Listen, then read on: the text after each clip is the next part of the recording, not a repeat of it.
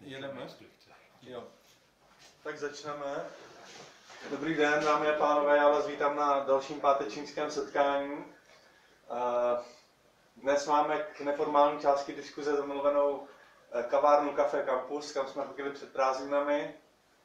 Eh, ještě vás poprosím, jako tradičně, budu tady žebrat o 20 korun, případně více na prodané místnosti, kde jste nám ještě nedali.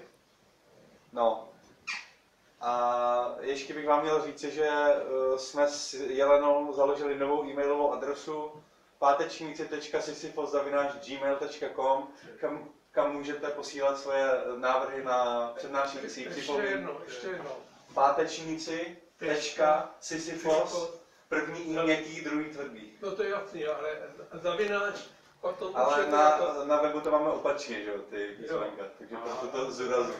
Na webu funguje obojí.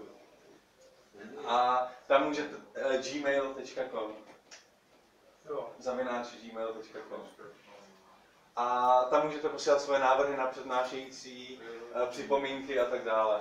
Ten z nás, kdo se k tomu dříve dostane, tak na to bude reagovat. Tak. A teď už bych tady rád přivítal našeho dnešního přednášejícího, kterým je pan magistr Tomáš Petrásek z Fyziologického ústavu Akademie věd. Uh, dnes nám tady řekne něco o Fermiho paradoxu a o tom, zda mohly být na Zemi jiné inteligence. Jenom bych ještě rád dodal, že uh, přednáška bude asi hodinu a půl. Já vás poprosím diskuze až po přednášce. V případě, že byste měli nějaký nutný technický problém, tak prosím vás ukažte takhle a já vám dám slovo, ale jinak, uh, jinak dotazy až po přednášce. Myslím, že bude dost času potom po přednášce a navíc uh, Tomáš dneska půjde do hospody na rozdíl od dvou minulých přednášících, takže budete mít případně čas i v restauraci. Já mu předávám slovo. Dámy a pánové, přeji vám všem hezký večer a děkuji za uvedení. Připravil jsem si eh, na dnešek povídání o problematice hledání jiných inteligencí, ať už na naší vlastní planetě nebo ve vesmíru. A podstatě celá tato přednáška nebude o ničem jiném než o otázkách, které napadají asi každého člověka, když se eh, v noci zadívá na jasné bezmračné nebe a na nepřeberné množství hvězd a začne uvažovat, jestli eh, ty jiné hvězdy jsou také podobné našemu slunci, jestli některé z nich mají planety podobné té naší a jestli třeba od tamtuť od někud se taky někdo dívá na oblohu a klade si přesně stejné otázky jako my. A e, tyhle otázky si lidé kladou už poměrně hodně dlouho a dnešní přednáška bude vlastně o tom, kam e, tyto otázky vědce e, zatím zavedly. V titulu přednášky jste si nemohli nevšimnout jména italsko-amerického fyzika Enrika Fermiho. Je to právě on, jehož jméno tak nějak eh, se stalo symbolem pro tu největší nevyřešenou otázku, jaká lidi trápí. Eh, není asi ani první, kdo si tenhle, eh, kdo tenhle ten problém sformuloval, ale už tak nějak se stal tím jeho symbolem. Kdy k tomu došlo? Stalo se to v 50. letech, nejspíš v roce 1950 v laboratořích Los Alamos, kde probíhal výzkum jaderných zbraní. A e, během jednoho e, hezkého sluného poledne se skupina jaderných fyziků o polední pauze vydala na oběd. Řešili e, témata převážně nevážná, jak už to tak při obědových pauzách bývá. A na přetřes přišla, přišla i témata, která v té době hýbala Amerikou. Jedním z nich, eh, to bude asi našinci poněkud povědomé, byla záhadná zmizení kovových odpadkových košů v New Yorku a druhým pochopitelně létající talíře, což byl v té době docela nový fenomén a eh, vlastně i takový jaksi eh, celospolečenský úkaz. Kreslíř časopisu New Yorker obě tato témata spojil a e, to samozřejmě vyvolalo nemalé pobavení fyziků, kteří e, diskutovali, jestli tedy je skutečně možné, abych nám ti marťané létali krást, ať už odpadkové koše nebo cokoliv jiného a tak. A pouze Enrico Fermi se tak jako zamyslel a i když už se obecný eh, rozhovor stočil někam jinam, on najednou vyskočil a zvolal památnou větu, kde všichni jsou, když překládá se různě, ale tohle je asi tak nejvěrohodnější verze. Tím samozřejmě myslel ty mimozemšťany. On si položil naprosto jednoduchou otázku. Když je vesmír nekonečný eh, a vznikaly by v něm jiné bytosti podobné nám, jak to, že nevidíme žádné známky jejich přítomnosti? Protože úplně smysl to nedává, daleko logičtější by bylo, kdybychom nějaké jejich stopy viděli. Tenhle problém není samozřejmě eh, vůbec eh, nový, ani to není nějak zvlášť originální postřeh, jenom vlastně Fermiho genialita byla v tom, že pochopil, jak moc netriviální tahle ta otázka je. Později se tím zabýval i Michael Hart, proto někdy se setkáme i s označením Fermiho Hartův paradox, a nebo také obecně řečeno mlčení vesmíru. Proč je tedy mlčení vesmíru takovým problémem? Vezměme si jenom naší galaxii, která je jednou z nesčetného množství galaxií v pozorovatelném vesmíru obsahuje střízlivým odhadem asi 300 miliard hvězd, plus minus. A podle toho, co dneska víme, tak eh, jsou tam hodně zastoupeny i planety. Ty ještě nikdo nespočítal, ale typněme si, že jich bude minimálně stejně. Možná o něco víc, možná o něco méně. Eh, kolik by tady eh, s námi v té galaxii mohlo být mimozemských civilizací?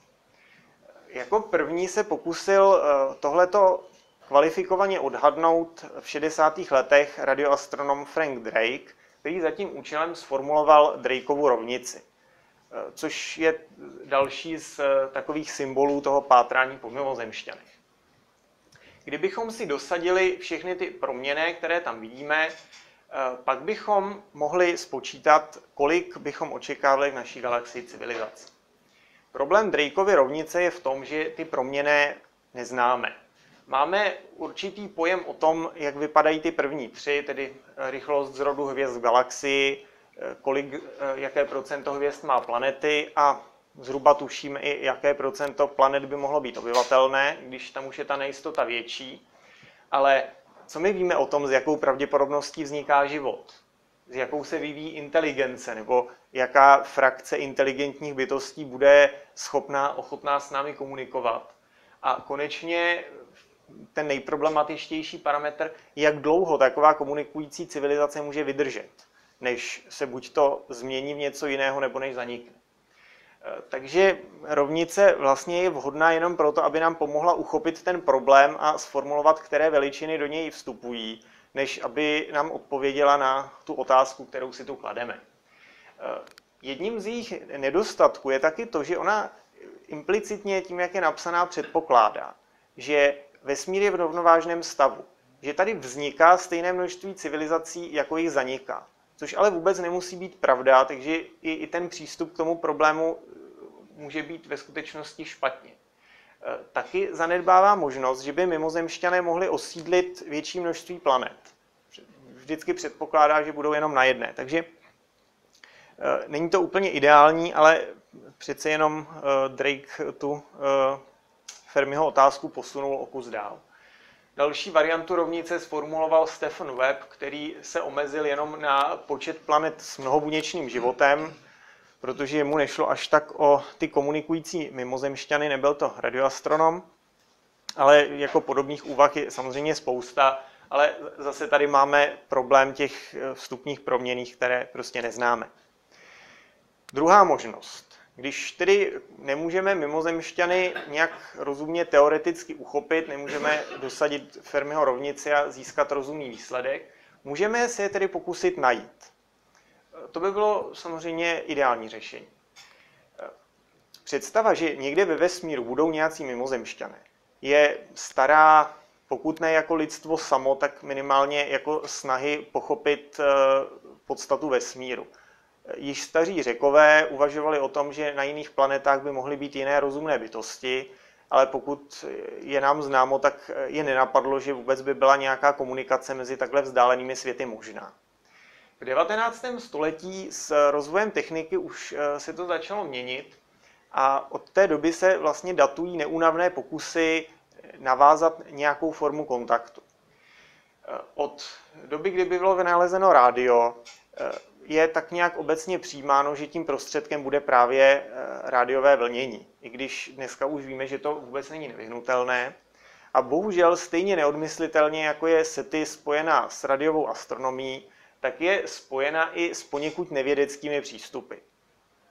Už vzhledem k tomu, jak málo se toho o e, těchto otázkách ví, má každý, ať už vědomě či nevědomě, tendenci projektovat si do mimozemšťanů nějaké svoje vlastní ideje, svoje vlastní představy a tím pádem ta objektivita vědeckého bádání často trpí. Pojďme se podívat na takový malý exkurs do historie pátrání po mimozemšťanech. Mírně jsem tam upřednostnil ty aktivní pokusy. Už v 19. století se mluvilo o tom, že by bylo možné posílat třeba na Mars nebo na Venuši, kde se tehdy předpovídaly eh, podmínky vhodné pro inteligentní bytosti, signály opticky pomocí nějakých zrcadel nebo dokonce eh, obrovského krajného inženýrství, kdy třeba by se na Sibiři vysázela eh, v lesích Pythagorova věta, jako ty trojuhelníky s čtverci nad odvěsnami a přeponami a podobně. Ale pokud je mi známo, tak v té době nebyl nikdo dostatečně šílený, aby to uskutečnil. Jakmile bylo vynalezeno rádio, tak eh, hned už jeho první průkopníky napadlo, že by to byl ideální prostředek pro komunikaci mezi Zemí a Marsem. V té době samozřejmě Mars eh, byl jasná jednička. Jak Nikola Tesla, tak i sám Marconi tvrdili, že se jim podařilo signály nejspíše z Marsu od Marťanů zachytit. Dneska předpokládáme, že to, co ve skutečnosti zachytili, byl radiový šum nejspíš z Jupitera, Měli tedy pravdu v tom, že eh, ty signály pocházely z vesmíru, ale asi eh, tedy ne v tom, že by byly umělé, jedná se spíš o přirozené signály. Eh, podobné pokusy pokračovaly i ve 20. letech, ale pak nějak to nadšení trochu pohaslo, protože nic jednoznačného z toho nevyplynulo. Zájem o mimozemšťany oživil až Frank Drake, který měl k dispozici moderní radioteleskopy, kde přece jenom už, eh, i když už tehdy Mars nebyl považován v tomhle směru za nadějný, tak už se odevřela možnost, že by se zachytily signály i z jiných hvězdných soustav. A ten započal tu éru těch naslouchacích sety projektů, které v různé formě a v různém měřítku pokračují vlastně až do dneška. Eh, ta aktivní vysílání začala jenom eh, dva roky po sformulování Drakeovy rovnice v roce 62, kdy bylo poselství mimozemšťanům odvysíláno z tehdy sovětské eupatorie. Je na Krymu, takže dneska už je asi zase ruská, ale prostě z eupatorie. Ehm, tohle vysílání bylo zajímavé především v tom, že k předání zcela výmluvného a nadčasového poselství stačila pouhá tři slova. Mír, Lenin, SSSR. Ano, je to samo o sobě jedno z vysvětlení toho, proč vesmír mlčí. Další zajímavá zpráva byla odeslána v roce 1974 z Areciba.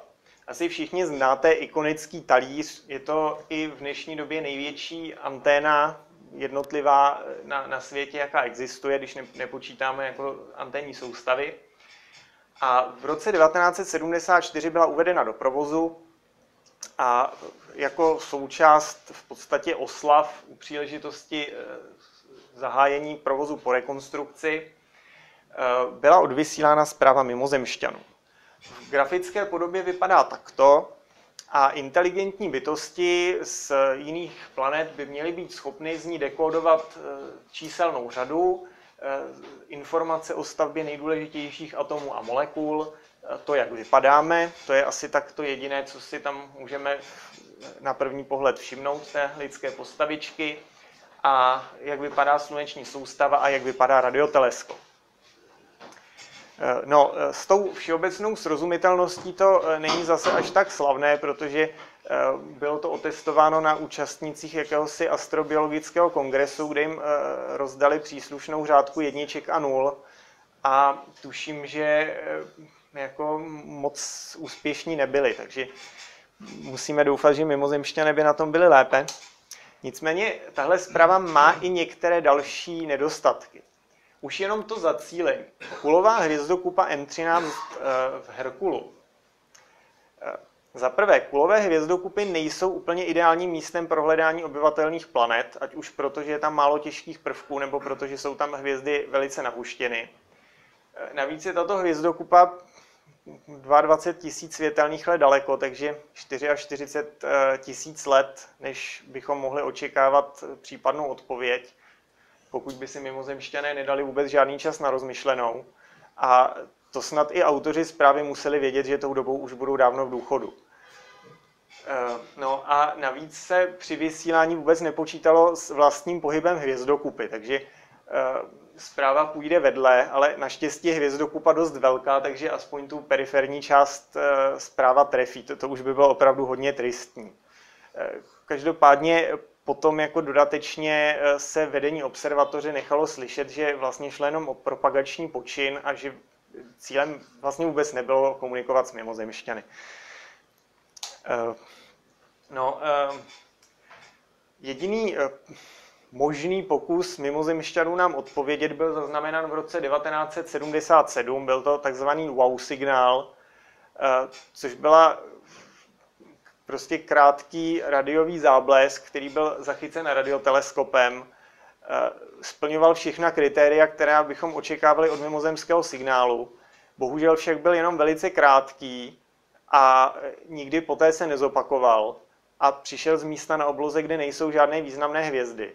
Takže do dneška netušíme, o co šlo, jaký byl původ signálu, jestli náhodou nešlo třeba o nějaké eh, tajné vojenské zařízení nebo něco podobného.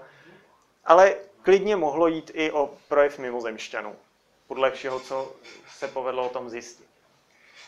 No, od té doby následovala spousta pokusů mimozemšťanům odpovědět. Jejich, eh, eh, jak bych to řekl, no, důvěryhodnost můžeme posoudit sami už jenom podle toho, že eh, v několika případech byla do vesmíru vysílána hudba, eh, v celé řadě případů eh, vzkazy poskytnuté publikem na sociální sítě nebo zaslané prostřednictvím krátkých textových zpráv. Jednou do vesmíru putovala dokonce sekvence fotosyntetického enzymu ribulozo bisfosfát karboxylázy. No, minimálně dvakrát byla za cíl zvolena hvězdná soustava Glíze 581, o které se myslelo, že tam existují zemipodobné planety. Eh, nedávno se zjistilo, že zřejmě ta detekce těch planet byla milná, takže tam ve skutečnosti nic není. No, eh, ve skutečnosti ta zpráva z Areciba z toho vychází v podstatě tak jako nejlépe, že to je opravdu aspoň eh, něco, čemu by mimozemšťané teoreticky mohli být schopni porozumět o zprávách z Twitteru si nedělám příliš veliké iluze. Takový trošku návrat do reality. Když eh, proponenti SETI tvrdí, že mimozemšťané mající radiové teleskopy už nás dávno museli zaznamenat a že o, nás dávno ví celá galaxie a že je jenom otázkou času, kdy mimozemšťané přistanou na trávníku před Bílým domem. Eh, pojďme si říct, co vlastně toho našeho rádiového eh, šumu by bylo zaznamenatelné.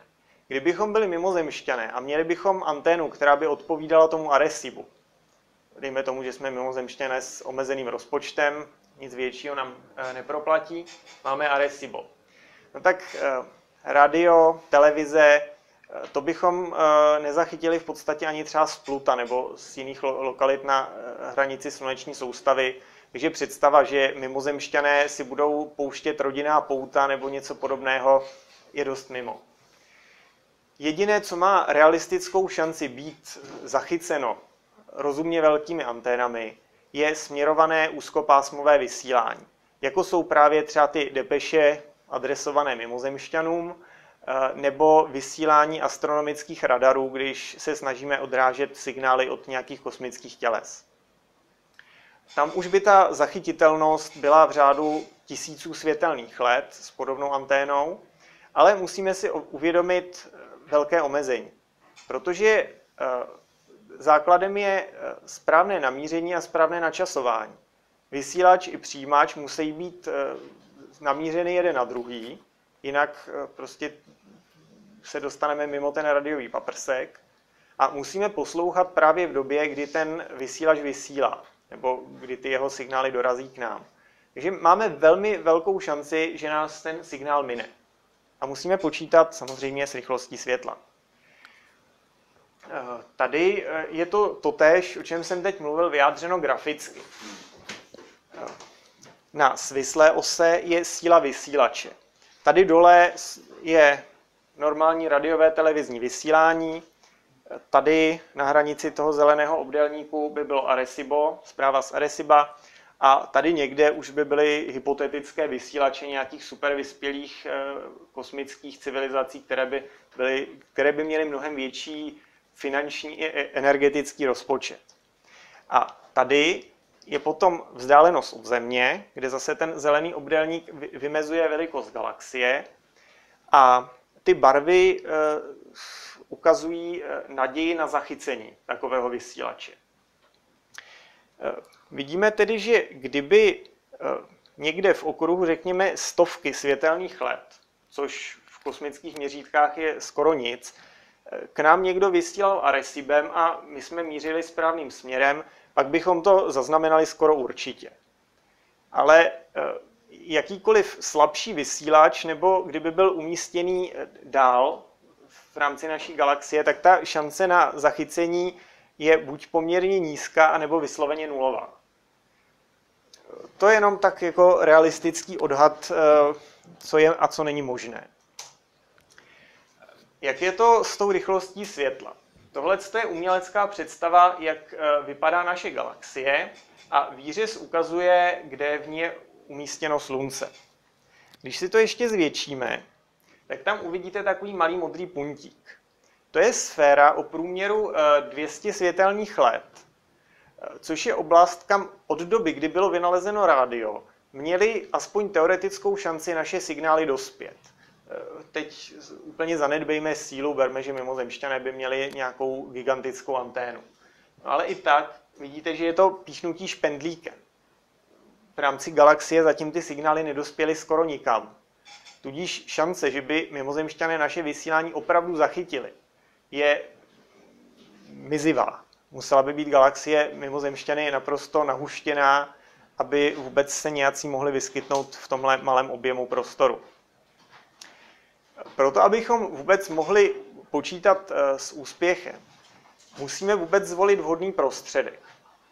Dneska už víme, že pro mezihvězdnou komunikaci, tím eh, myslím přenos většího množství informace eh, s vynaložením relativně malého množství energie, by byly vhodnější jiné vlnové délky než je rádio. Třeba přenos viditelného světla pomocí laserů, který lze velice úzce zaměřit a když máme optický teleskop vyladěný na tu správnou vlnovou délku, pak eh, lze přenést mnohem víc bitů za sekundu než pomocí rádia.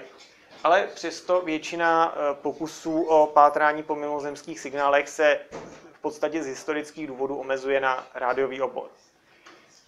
I v rádiovém oboru musíme vybrat frekvenci, kde samozřejmě některé frekvence jsou vhodnější než jiné, ale eh, pořád je ten prostor značný a musíme si vybrat cíle, což jenom zvyšuje eh, tu pravděpodobnost, že se s mimozemšťany vlastně mineme. A to vůbec ani nezmiňuje možnost, že mimozemšťané mohou používat nějaká komunikační média, která my třeba neznáme nebo je technologicky nedokážeme zvládnout. No, další problém je, že mimozemšťané jsou prostě mimozemšťané. Že nevíme o nich vůbec nic a tudíž těžko můžeme odhadovat, jaká by byla jejich motivace. My totiž ani nevíme, jak by vlastně vypadaly.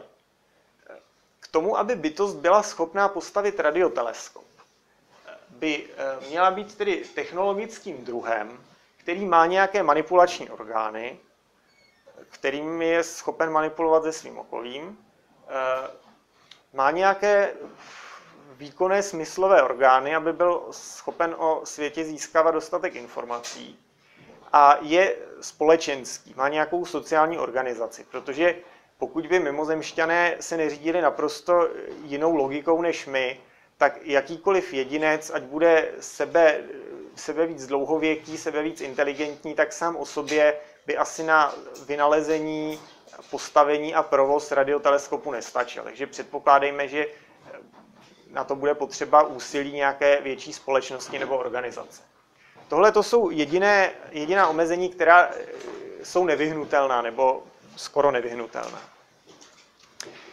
Když se podíváme, jakože k tomu se ještě trochu vrátím, na eh, nejinteligentnější organismy na Zemi, můžeme si všimnout jedné věci. Každý vypadá úplně jinak. Eh, mají většinu z těch věcí, o kterých jsem mluvil, ale jinak je každý naprosto jiný. A to všichni žijí na jedné planetě za zhruba podobných fyzikálních chemických podmínek. Mimozemšťané žijící v úplně jiném prostředí by mohli vypadat ještě úplně naprosto jinak a i, i jejich způsob eh, pohledu na svět by tím byl nevyhnutelně ovlivněn. Takže když uvážíme eh, tohle všechno, tak pravděpodobnost, že bychom narazili na nějaké vulkánce ze Star Treku, kteří jsou v podstatě jako my, je velice malá. Sice tomu žádný fyzikální zákon nebrání, ale to spektrum možností je tak široké, že máme daleko větší šanci narazit na něco, co bude vypadat takhle. A e, to samozřejmě má i, i své implikace, když se snažíme teda e, pochopit, co by mimozemšťané asi chtěli, o co by jim šlo, jak by se k nám chovali. E, možné v podstatě cokoliv. Ale vraťme se k Fermiho paradoxu. Já teď proberu jednotlivé hypotézy a zároveň i některé věci, které tu původní Fermiho otázku činí vlastně ještě palčivější. Ehm, teď tedy to první prohloubení. Sovětský badatel Kardašev poukázal na to, že kosmické civilizace by mohly být ehm, nesrovnatelně pokročilejší než my a navrhl kvantifikovat to jejich spotřebou energie, vycházel z toho, že spotřeba energie během rozvoje naší vlastní civilizace plynule stoupá a seřadil je podle tzv. Kardashievovy stupnice. Přičemž eh, civilizace prvního stupně by byla schopná eh, schromáždit a spotřebovat veškerou energii, která by byla dostupná na její vlastní planetě. Civilizace druhého stupně už by byla schopná eh, využít veškerou energii své vlastní hvězdy, Civilizace třetího stupně eh, by si nárokovala dokonce všechny hvězdy příslušné galaxie. Eh, vidíte, že tam je docela hezký vždycky skok zhruba o 10 řádů a my jsme tedy zatím eh, pouze na stupni 0,7. Takže vůbec jsme ještě mimo stupnici, ale snažíme se. No, o co tady jde?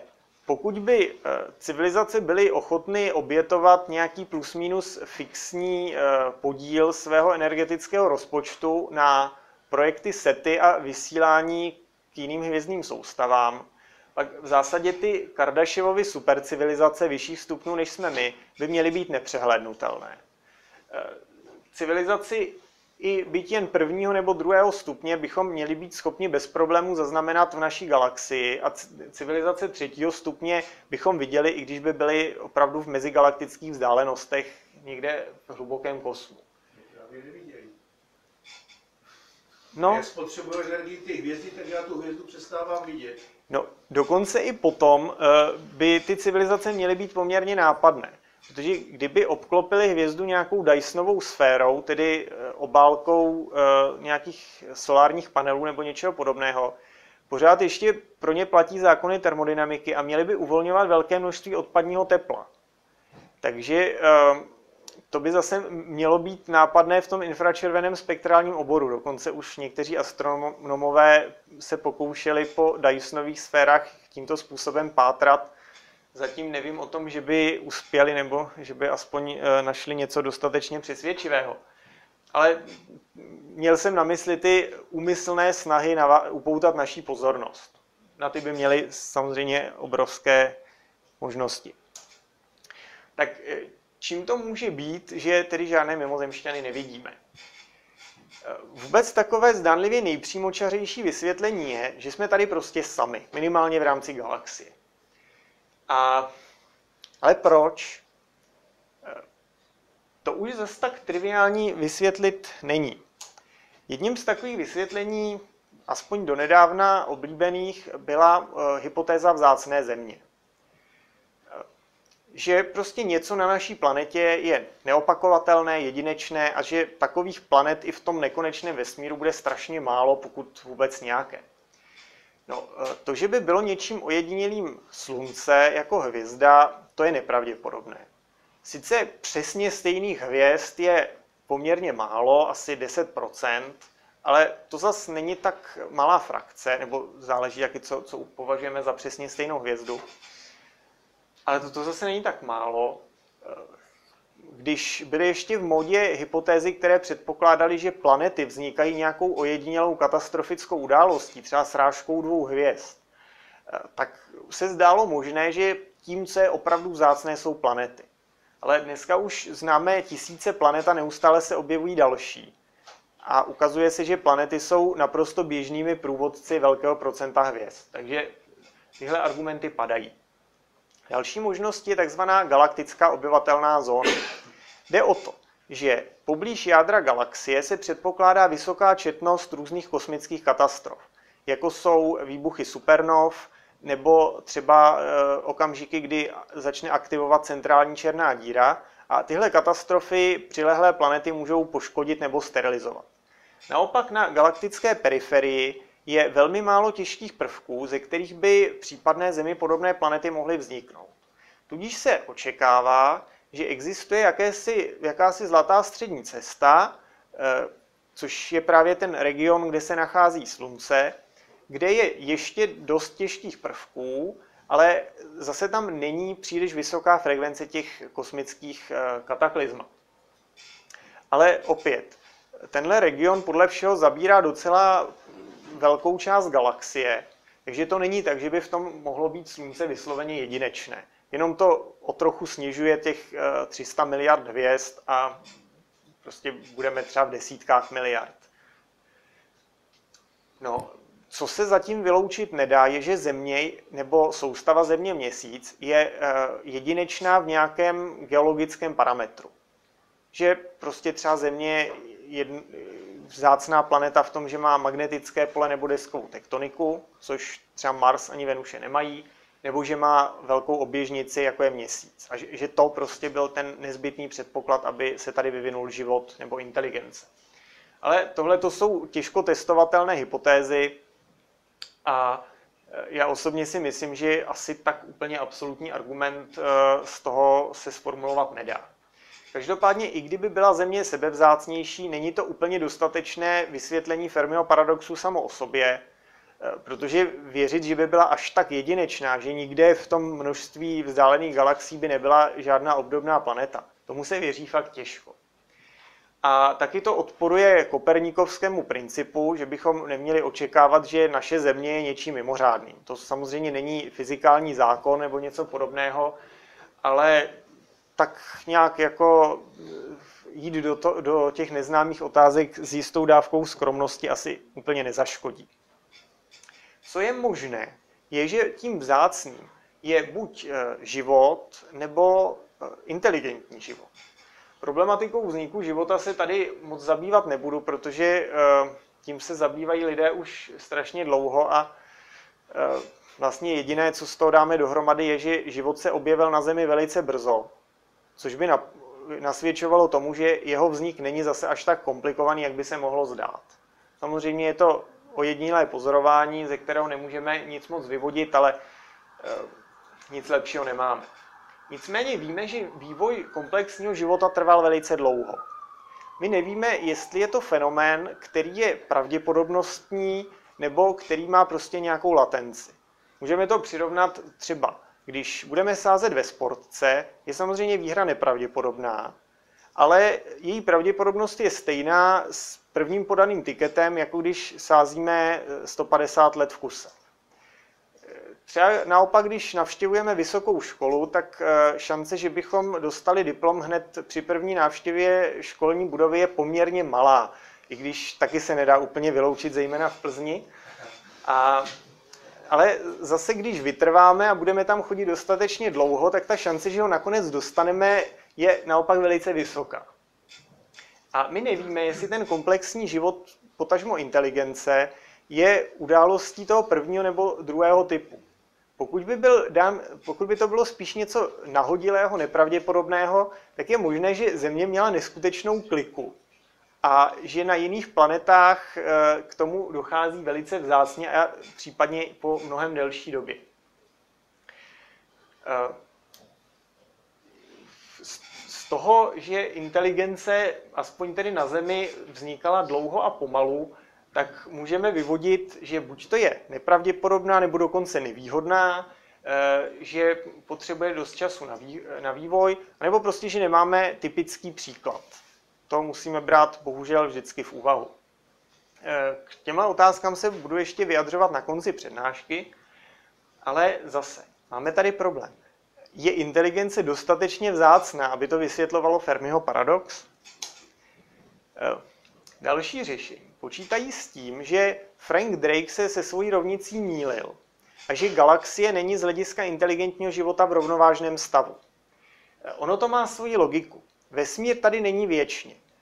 Měl nějaký svůj počátek, nějaký svůj vývoj a je jasné, že ty mimozemské inteligence musely v nějakém konkrétním okamžiku poprvé získat všechno potřebné pro to, aby vůbec mohly vzniknout. Je tedy možné, že eh, teprve relativně nedávno došlo k určitému typu fázového přechodu, který vznik kosmických civilizací umožnil. A my se v podstatě neseme na čele téhle té vlny. Takže buď to jsme vysloveně první civilizace, která vznikla, a nebo aspoň eh, mezi prvními eh, a dostatečně vepředu na to, aby tady neexistovaly žádné ty super civilizace v tom Kardaševově smyslu. Eh, co by, o co by mohlo jít? Vlastně jsme se toho už trochu dotkli. Protože jak se vyvíjela galaxie, tak galaktická obyvatelná zóna teprve v nějakém okamžiku začala existovat. S tím, jak klesala frekvence třeba výbuchů supernov a záblesků záření gamma, a naopak se zvyšoval obsah těžkých prvků. Takže je možné, že vlastně my žijeme v prvním období, kdy eh, ten rozestup mezi těmi třeba záblesky gamma, jak eh, navrhují tady Anis a Cirkovič, eh, že poprvé je ten rozestup dostatečně dlouhý, aby vůbec nějaká civilizace se mohla dopracovat tak daleko jako my. Všechny pokusy evoluční před námi byly vlastně smeteny. To by byla docela vlastně sympatická hypotéza, že jsme mezi těmi nejlepšími. Eh, no, abychom si to trochu prohloubili, ten náš náskok, nebo ten náskok případných mimozemšťanů, by musel mít opravdu velice malý k tomu, aby byl uvěřitelný. Protože naše galaxie, ač se to lajkovi asi nezdá, je velice malá. Když si představíme nějakou bytost schopnou se replikovat, ať už by to byl biologický organismus, jako jsme my, nebo nějaká uměle vytvořená entita, třeba eh, rozmnožující se kosmická sonda nebo něco podobného, eh, tak se bude schopen rozmnožovat geometrickou řadou. A pokud by zároveň byl schopen cestovat vesmírem nějakými rychlostmi, které jsou z našeho hlediska ještě technologicky představitelné, třeba jednotky nebo nízké desítky procent rychlosti světla, eh, pak by takový replikátor byl schopen eh, zabydlet a eh, kompletně kolonizovat celou galaxii během geologického okamžiku, během třeba jednotek desítek milionů let. A galaxie tady existuje 13 miliard let. My, jako naše země, je tady 4,5 miliardy let. To znamená, že žádná jiná kosmická civilizace neměla před námi dostatečně velký náskok, ani, ani těch 1 až 10 milionů let, aby se dostala do stádia, kdyby byla schopná osídlovat jiné hvězdné soustavy a díky tomu zabydlet celou galaxii. Protože kdyby se tomu tak stalo, tak na Zemi se nikdy nevyvinul člověk, ale byla osídlena nějakou civilizací z vesmíru. A k tomu podle všeho nedošlo, pokud nebudeme brát vážně Denikena a podle Denikena se to té mimozemské civilizaci vlastně nepovedlo, protože eh, tady nějakou dobu působili a pak zase kam si zmizeli. Eh, jak bychom to mohli vysvětlit, pokud tedy, pokud tedy mimozemšťané jsou schopni mezihvězdného cestování? No, první možnost je, že je tam nějaká zábrana, o které vlastně zatím nemáme ani ponětí. To by byla docela zajímavá věc, protože o ničem takovém vlastně nevíme. Taky je možné, že mimozemšťané celou galaxii mají dávno skolonizovanou, ale Zemi se z nějakého důvodu vyhýbají. To se dá vysvětlit různě. Docela uvěřitelným vysvětlením by se mi zdála možnost, že se ve skutečnosti vyhýbají planetárním soustavám, kde existuje život. Mimozemšťané pravděpodobně znají Wellsovu válku světů, kde mimozemské vetřelce zastavili pozemské mikroorganismy, proti kterým neměli vyvinutou imunitu. A je to skutečně veliký problém, protože pokud budeme kolonisté a budeme hledat vhodné světy k osídlení, pak to určitě nebude planeta, kde je domorodý život. Protože o tom, jak ten život funguje, z dálky nemůžeme moc zjistit. A nemůžeme vědět, jak by tamní mikroorganismy reagovaly s naším organismem, takže pokus takovou planetu osídlit by byl nevyhnutelně vysoce rizikový. A nemuselo by se nám to podařit. Takže mimozemšťané by mohli preferovat planety bez života. Ale eh, jako eh, důvod, proč tady vůbec žádné stopy po působení cizích inteligencí nevidíme, taky jako není to úplně dostatečné. Jak je to s tou proveditelností mezihvězdných cest? Radioastronomové, kteří se věnují SETI, dost často ve svých eh, úvahách a ve svých publikacích možnost mezihvězdného cestování buď úplně opomíjejí, nebo ji tak nějak jako odbývají, že je to prostě tak někde na hraně mezi vědou a fantazí. Ale nepříjemná pravda, ono by to asi šlo. Eh, nepříjemná zřejmě hlavně pro ty radioastronomy, protože eh, samozřejmě kdyby mezihvězdné cestování bylo fyzikálně vyloučené, pak se nemusíme obávat, že když mimozemšťané opravdu nebudou mít rádi eh, komunistické slogany nebo zprávy z Twitteru, takže si to s náma přijdou vyříkat z očí do očí. Eh, pokud by mezihvězdné cestování možné bylo, pak eh, tady nejsme zase až tak v bezpečí a pokusy aktivně připoutávat pozornost mimozemšťanů můžou být docela zahráváním si s ohněm. Podle mého názoru mezihvězdné cestování proveditelné je ne tedy na naší současné eh, technologické úrovni, ale eh, minimálně se současnými fyzikálními principy by se dalo dosáhnout rychlostí kolem procent rychlosti světla, kdybychom zapřáhli aspoň jaderné štěpení nebo v lepším případě jadernou fúzi. Což znamená, že k jiným hvězdám bychom se dostali aspoň za stovky let, což je dlouho, ale není to nerealistické. Navíc eh, ne všechny biologické druhy musí mít stejně omezenou dobu života jako my, eh, nebo musí mít takové nároky na vodu, kyslík a, a další, další věci. Mohou být třeba schopny přirozeným způsobem hibernovat, takže by pro ně to mezihvězdné cestování bylo daleko přirozenější. Takže skutečně nemůžeme jen tak od stolu vyloučit, že by mimozemšťané se mohli k jiným hvězdným systémům dostat. Eh, Zase, eh, naše úvahy se budou ubírat jinými směry podle toho, co budeme o mimozemšťanech předpokládat. Eh, vůbec. Jak budou vypadat? My tak nějak jako mlčky předpokládáme, že to budou civilizace tak jako my. Že, se, že to budou nějaké biologické organismy plus jejich technologie, jejich nástroje, stroje a přístroje. Ale je taky klidně možné, že ve skutečnosti ty mimozemské inteligence jsou ryze umělé, že to jsou tedy nějak, nějací roboti nebo uh, něco, nějaké organismy vytvořené civilizacemi, které už se dávno toho biologického balastu zbavily. A je možné, že to jsou nějaké entity, které prošly takzvanou singularitou. Tím se uh, v učeném žargonu rozumí že to jsou civilizace, které prošly nějakým vývojovým zvratem, jehož důsledky nedokážeme domyslet. Eh, takže eh, tím se, tím se odborníci snaží říct, že mimozemské civilizace by mohly být pro nás naprosto nepředstavitelné. Eh, jak si je tedy máme vlastně představovat? Máme si je představovat tak, jako to činil Frank Drake, jako nějaké statické entity, které osídlují svůj vlastní hvězdný systém, maximálně vysílají rádiové vlny, ale nikam se neposunují. Máme si je představit jako něco, co se rozmnožuje, co zakládá nezávislé kolonie, výsadky do jiných hvězdných soustav a tak eh, osidluje čím dál větší část galaxie. Nebo si je máme představit jako něco, co se fyzicky rozrůstá jako e, nějaká galaktická impéria, která budují provázané systémy hvězdných soustav. No, protože každá z těchto možností znamená svoje. E, hlavně tedy pro ten parametr L, tedy dobu dožití e, té dané kosmické civilizace. Impéria by sice byla jaksi prostorově rozlehlá, ale mohla by se taky jako celek zhroutit a zaniknout my vlastně potřebujeme, aby ta civilizace vysloveně zanikla, ne aby tam zůstaly nějaké ostrůvky, protože i ty bychom mohli docela dobře zaznamenat.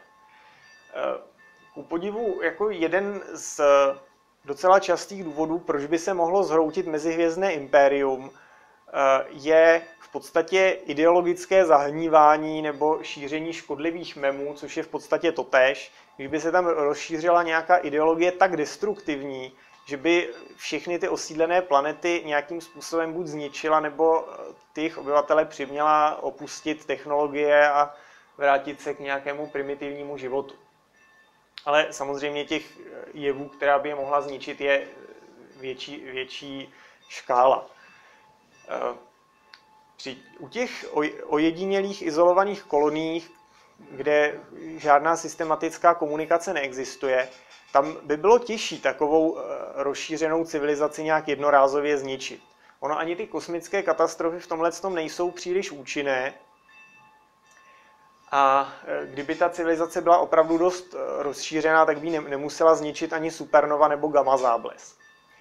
Ale zase tady musíme počítat s pravděpodobností. Jaká je pravděpodobnost, že ta daná kolonie bude vysílat další výsadky? Jaká je jejich pravděpodobnost na úspěch? jaká je očekávaná doba dožití každé té kolonie, protože když si tyhle ty pravděpodobnosti vhodně nastavíme, tak můžeme dojít jak k tomu, že ta kolonizace bude trvale udržitelná a že nakonec eh, ta daná civilizace pohltí celou galaxii, anebo můžeme dojít i k tomu, že eh, osídlí pár hvězdných soustav, než se ta kolonizace nějak, nějak zadrhne a ty jednotlivé osídlené planety zase zaniknou. Eh, Bohužel, jak už to je tak u řešení Fermiho paradoxu zvykem, všechny tyhle ty možnosti jsou představitelné, takže nevíme, která z nich je ta správná. Pokud by mimozemšťané zásadně zůstávali na domovských planetách a nikam do kosmu ne, necestovali, je obtížné to vysvětlit. Neznáme žádný důvod, proč by, uh, který by jim v tom fyzikálně bránil.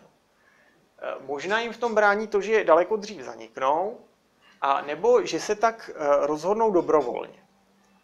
Zdálo by se nepředstavitelné, že všechny ty rozmanité civilizace by se rozhodly stejně, ale jako, jak se rozhoduje ta civilizace, které my jsme součástí?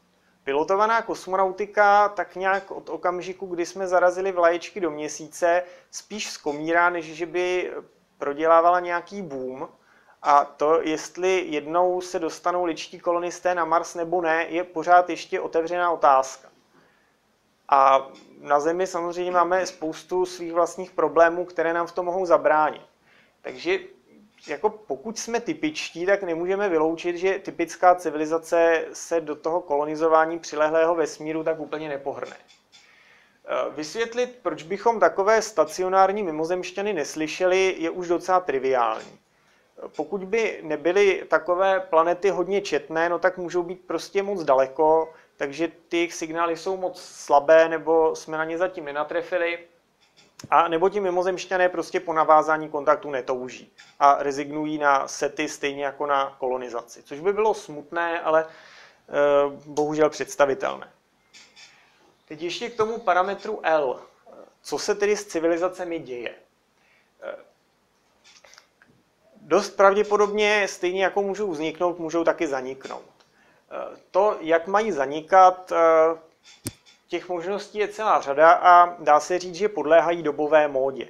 V době Franka Drakea byla samozřejmě na výsluní hypotéza eh, nukleárního Armagedonu, podle níž každá civilizace, která dosáhne jistého stupně, nakonec postaví atomovou bombu a každá civilizace, která postaví atomovou bombu, je taky dřív nebo později použije a sama se tím zničí a vyřadí se s tím eh, z Drakeovy rovnice.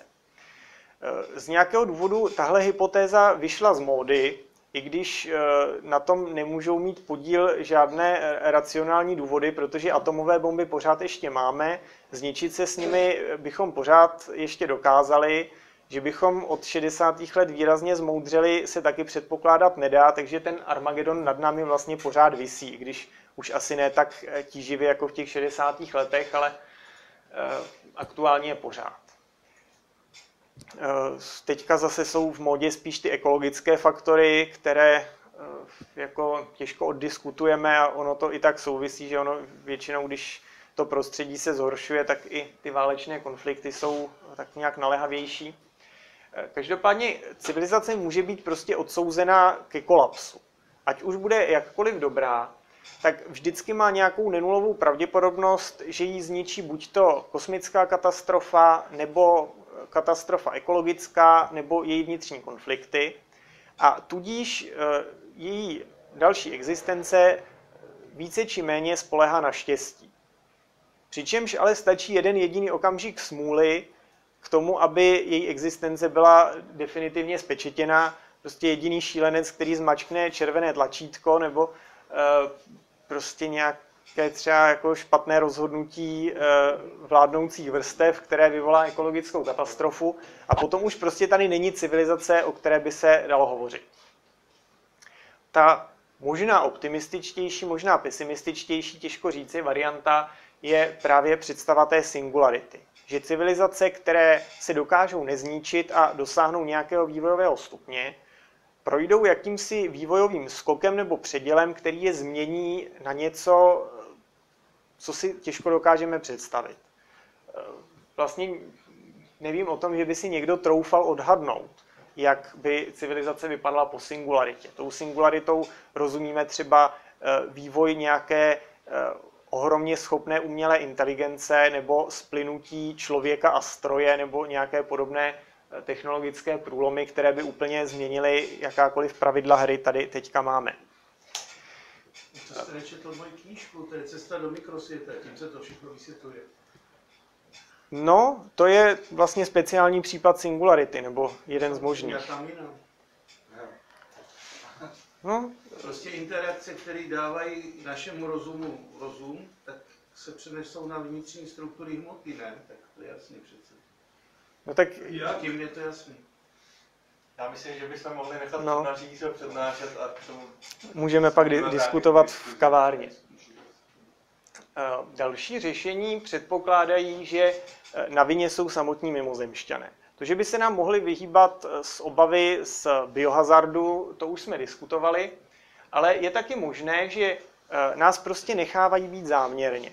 O tom hovoří takzvaná hypotéza zoo, že tedy my jsme pro mimozemšťany ceným vědeckým objektem, který si přece nebudou znehodnocovat tím, že by do něj nějak zasahovali nebo nedej bože by nám jako napomáhali v našem civilizačním rozvoji. A že ve skutečnosti pro ně nejsme partnery, ale de facto pokusnými nebo eh, studovanými objekty. Eh, Ta trošku sympatičtější verze hypotéza galaktického klubu eh, je v podstatě stejná, ale počítá s tím, že jakmile dospějeme, dosáhneme nějaké technologické nebo možná mravní úrovně, která by nám umožnila hovořit s těmi mimozemšťany jako rovný s rovnými, takže teprve tehdy se oni nám dají poznat a se stoupí z nebes a uh, bude prostě dobře. No, uh, jako ta ošklivější možnost je, že ve skutečnosti mimozemšťané mlčí, protože to s námi nemyslí dobře. Pojďme se na to podívat z toho biologického pohledu. Když bychom si představili eh, jednotlivé mimozemské civilizace jako biologické druhy nebo biologické organismy a galaxii jako obrovský ekosystém, eh, můžeme si klást otázku, jak by se tedy ty mimozemské civilizace měly chovat z biologického hlediska.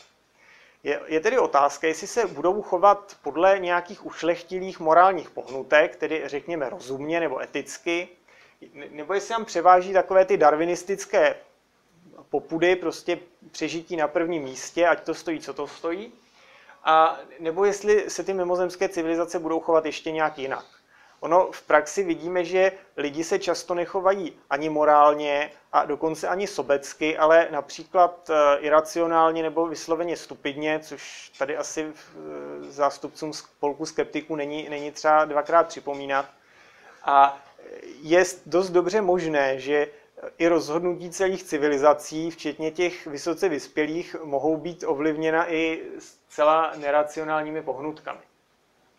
Každopádně, ať je tomu jakkoliv, měly by v galaxii časem převládnout právě ty civilizace, které projdou všemi těmi nástrahami, které budou schopny přežít, budou schopny se efektivně rozšiřovat, budou schopny obstát v konkurenci ostatních.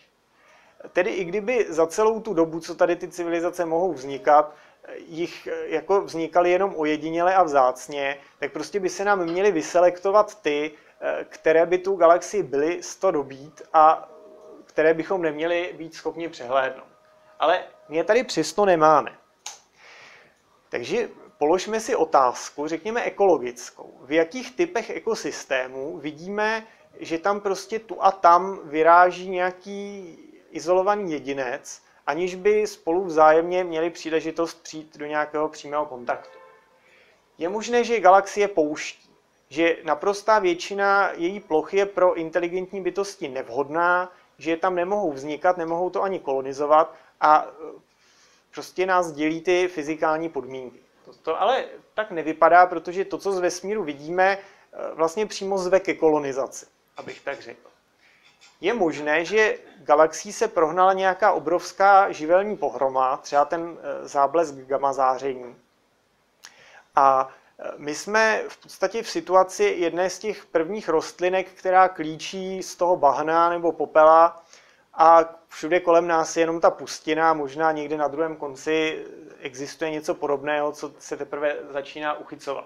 Ale neznáme žádný dostatečně účinný typ živelní pohromy. Ten gamma záblesk by to docela zastal, ale zase je to jenom velice úzký paprsek toho gamma záření, který by asi nebyl schopen vysterilizovat kompletně celou galaxii. Takže je možné, že o to, že tady žádné mimozemské civilizace nejsou nebo nejsou vidět, se někdo aktivně stará. Že, že je tady prostě buď nějaká jedna dominantní kosmická civilizace, která všechny ty nově vznikající systematicky ničí, aby jimi nebyla ohrožena, a nebo že tady existuje jakýsi potravní řetězec. Že každá civilizace se snaží v té své sféře vlivu likvidovat případnou konkurenci, ale zase na druhou stranu se eh, snaží eh, pokud možno nevyčnívat, ať už nějakou rozsáhlou kolonizací nebo třeba vysíláním radiových signálů, protože má eh, odůvodněné obavy, že by mohly existovat i civilizace vyspělejší, které by se chovaly podobně a tudíž by nebylo moudré, jak si o sobě dát vědět. To velice dobře vysvětluje, proč je v tom vesmíru takové nápadné ticho. Samozřejmě z hlediska našich vyhlídek do budoucna tahle ta možnost není úplně optimistická, ale je to jedna z těch, které aspoň nevedou k žádným vnitřním rozporům. Ve světle toho, co jsme si řekli, je otázka, jestli snaha za každou cenu se dopátrat odpovědi na Fermiho otázku je vůbec ještě v kategorii vědy nebo už spíš víry. Jako dobře, na tom poznání, že mimozemšťané existují, to je jednoznačně pozitivní. To je prostě vědecký poznatek, který by nám asi hodně řekl. Ale jestli skutečně ta sama komunikace s mimozemšťany by byla pro nás přínosem, to už je spíš diskutabilní. Jako mezi těmi přínosy, co se zmiňují, by byl eh, přísun nových technologií od těch mimozemšťanů. Ale eh, to je otázka, protože eh, za prvé, byli bychom schopni dešifrovat, jak by fungovaly nějaké výrazně vyspělejší technologie, než jsou ty naše, i kdybychom jako dostali návod. Eh, byly by nám ty technologie k užitku. Kdybychom se pokusili člověka v době ledové naučit stavět auta, eh, tak on to jednak nepochopí a jednak i kdyby jako jsme ho mechanicky nainstruovali, aby postavil auto, tak zjistí, že mu v jeho prostředí k ničemu není, protože prostě nebyly silnice. Eh, a samozřejmě otázka ve světle zase všeho, všech těch možností. Jestli by mimozemšťané byli tak eh, altruističtí nebo tak naivní, aby se s námi jen tak eh, podělili o všechny své technologické výdobytky, když by neměli žádnou jistotu, že jich třeba nezneužijeme proti jejich vlastním zájmům. Další možností, která se často cituje, je kulturní obohacení. Že mimozemšťané by se zajímali o naší pozemskou kulturu, umění a zase naopak eh, od toho právě i ty pokusy vysílat do vesmíru hudbu. Ale tohle může být vlastně úplně šíleně naivní představa. Když si představíme, že bychom se pokusili, dejme tomu netopírovi, vysvětlit, co je tak krásného, já nevím, na Moně Líze nebo na nějaké symfonii, tak narazíme na to, že on prostě eh, je zvyklý na informace v úplně jiném eh, jaksi fyzikálním formátu, než jaký přijímáme my, takže to naše umění by asi nebyl vůbec schopen vnímat. A je dost velkou otázkou, jestli pojem krásná je nějak univerzální mezi jinými biologickými druhy. Takže v tomhle tom bych byl spíš skeptik. Takže zase jediná možnost, která je tak nějak nenapadnutelná, by byla tam vůbec jenom to samotné vědomí, že tam někde existuje nějaký jiný inteligentní druh a případně informace o nich samých, o tom, jak fungují biologicky, společensky a tak. No, eh, důvodů, proč se o kontakt s mimozemšťany nesnažit, je poměrně dost. V první řadě je to tedy to riziko agrese, pokud by mimozemšťané byli tak nějak jako v doletové vzdálenosti nebo byli dostatečně technicky vyspělí, aby reálně hrozilo, že se k nám můžou dostat. A co si budeme povídat, ono to riziko je obou strany. Skoro vždycky, když se během zdokumentované historie střetly nějaké výrazně odlišné lidské kultury, tak tam došlo k nějakému konfliktu ať už ekonomickému nebo vysloveně násilnému, což byla asi ta úplně nejčastější uh, varianta. Uh, tudíž uh, bych si netroufl dát za lidstvo ruku do ohně, že se nebude chovat k mimozemšťanům agresivně. A zase my od nich nemůžeme očekávat, že by byli nějak radikálně lepší než my sami. Takže tohle je riziko reálné. Je tady problém kulturního šoku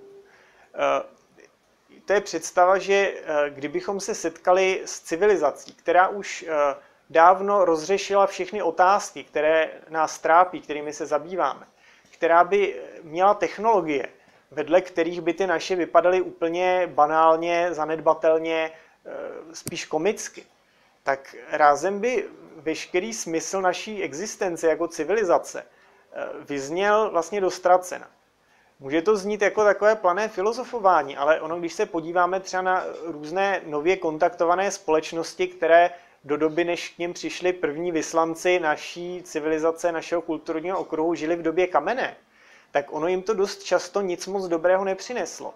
Protože první, kdo tam přišel, byli misionáři, kteří jim vysvětlili, že všechno, čemu věřili, jejich náboženství, jejich kultura je vlastně špatně, že my to víme líp, pak eh, přišli obchodníci, kteří jim začali prodávat naše vymoženosti, nástroje, všechno. A oni najednou zjistili, že vlastně i ta jejich hmotná kultura je prostě směšná, že jako s jejich kamenou sekerkou proti naší motorové pile, že prostě to je nebe a dudy. Ale zároveň taky zjistili, že oni té naší civilizaci vlastně nemají čím přispět. Jediný, kdo se o ně zajímá, je pár nějakých potřeštěných antropologů, kteří jako o nich pak napíšou vědecké pojednání. Ale jinak po nich neštěkne ani pes a oni vlastně skončí jako takový vyvrhelové, protože zavrhli tu svoji kulturu, která se jim zdála nanicovatá, ale vlastně nejsou ještě součástí té naší. A buď toto trvá několik generací, než se přizpůsobí, ale přijdou tím o svoji identitu. A nebo to nedokážou nikdy a v podstatě tak nějak jako celá ta příslušná kultura odezní dostracena. Je tedy otázka, jestli vůbec je eh, jako správné se o ty mezikulturní kontakty snažit a rozhodně je jasné, že je potřeba k tomu přistupovat opatrně, hlavně tedy ze strany té vyspělejší strany. Takže možná pokud opravdu žijeme v té kosmické zoo a všichni se úzkostlivě snaží nám vyhýbat, možná je to opravdu pro naše dobro. Velmi závažné riziko je, že mimozemštěny vůbec nepochopíme. Eh, když se jenom podíváme na snahy pochopit eh, komunikaci jiných živočišných druhů, jako jsou třeba delfíni, tak v tom zas tak velké průlomy nebyly učiněny. Ačkoliv vlastně s těmihle živočichy můžeme přímo interagovat a můžeme předpokládat, že komunikují o relativně přízemních věcech, které dokážeme pochopit. Což u mimozemšťanů moc čekat nemůžeme a navíc tam budeme mít třeba ten, jenom ten radiový signál. A navíc ani nebudeme mít třeba možnost té vzájemné výměny, dialogu, protože prostě ta prodleva bude příliš dlouhá. A e, samozřejmě vůbec jenom ty náklady na udržení té komunikace budou nenulové.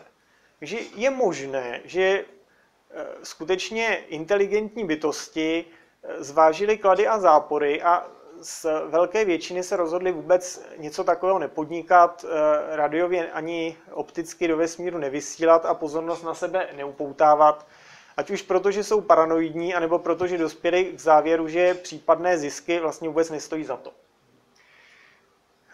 Vůbec nedokážeme říct, jestli jsou mimozemšťané hodní, ve smyslu prostě altruističtí, snažící se jenom o naše dobro a rezignující na své vlastní zájmy, jak to dost často propagují proponenti sety, že jako až se ozvou mimozemšťané, tak zavládne ráj na zemi.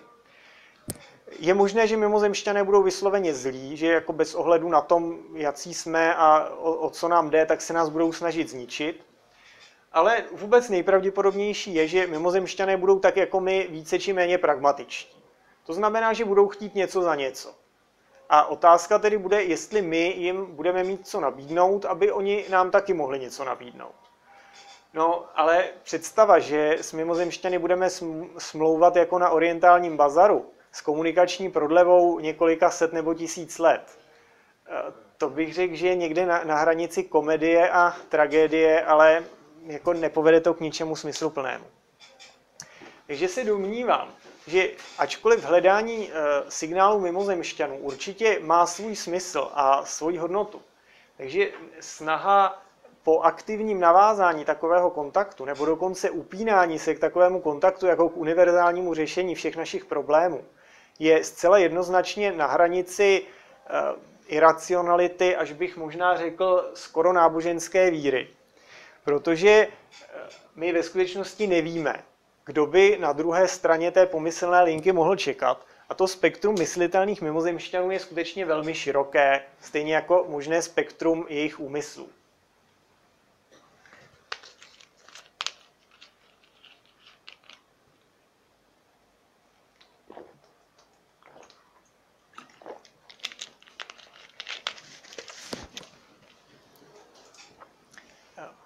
Celá tahle přednáška, stejně jako všechny eh, ostatní podobné přednášky, je pronásledována eh, přízrakem, eh, který lze stvárnit takto. N se rovná 1. Máme jenom jedno pozorování.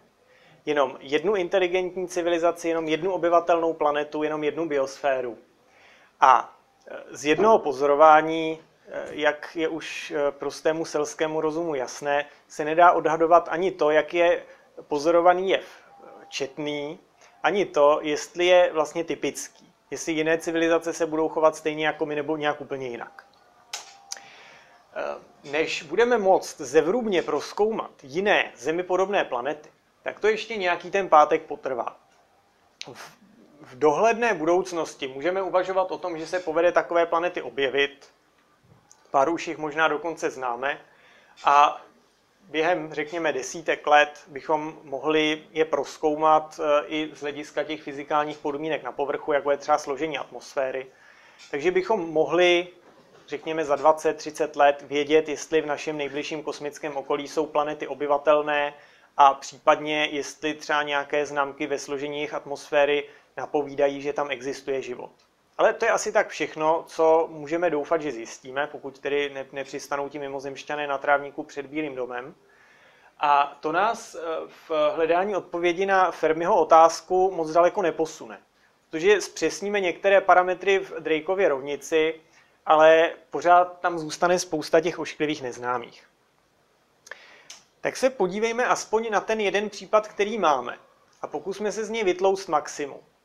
Zemi ve skutečnosti můžeme brát ne jako jednu planetu, ale jako sérii dost odlišných planet. Pokud se na ní podíváme v různých eh, časových okamžicích, tak zjistíme, že najednou tady máme úplně cizí planety. Že?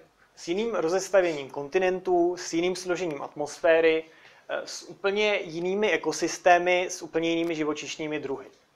že ten pohled do minulosti Země může být z tohle hlediska poučný, protože jakkoliv toto nejsou eh, nezávislá pozorování, tak je to asi to nejbližší, eh, co k nezávislým pozorováním v současné době máme a v nejbližších stoletech mít budeme.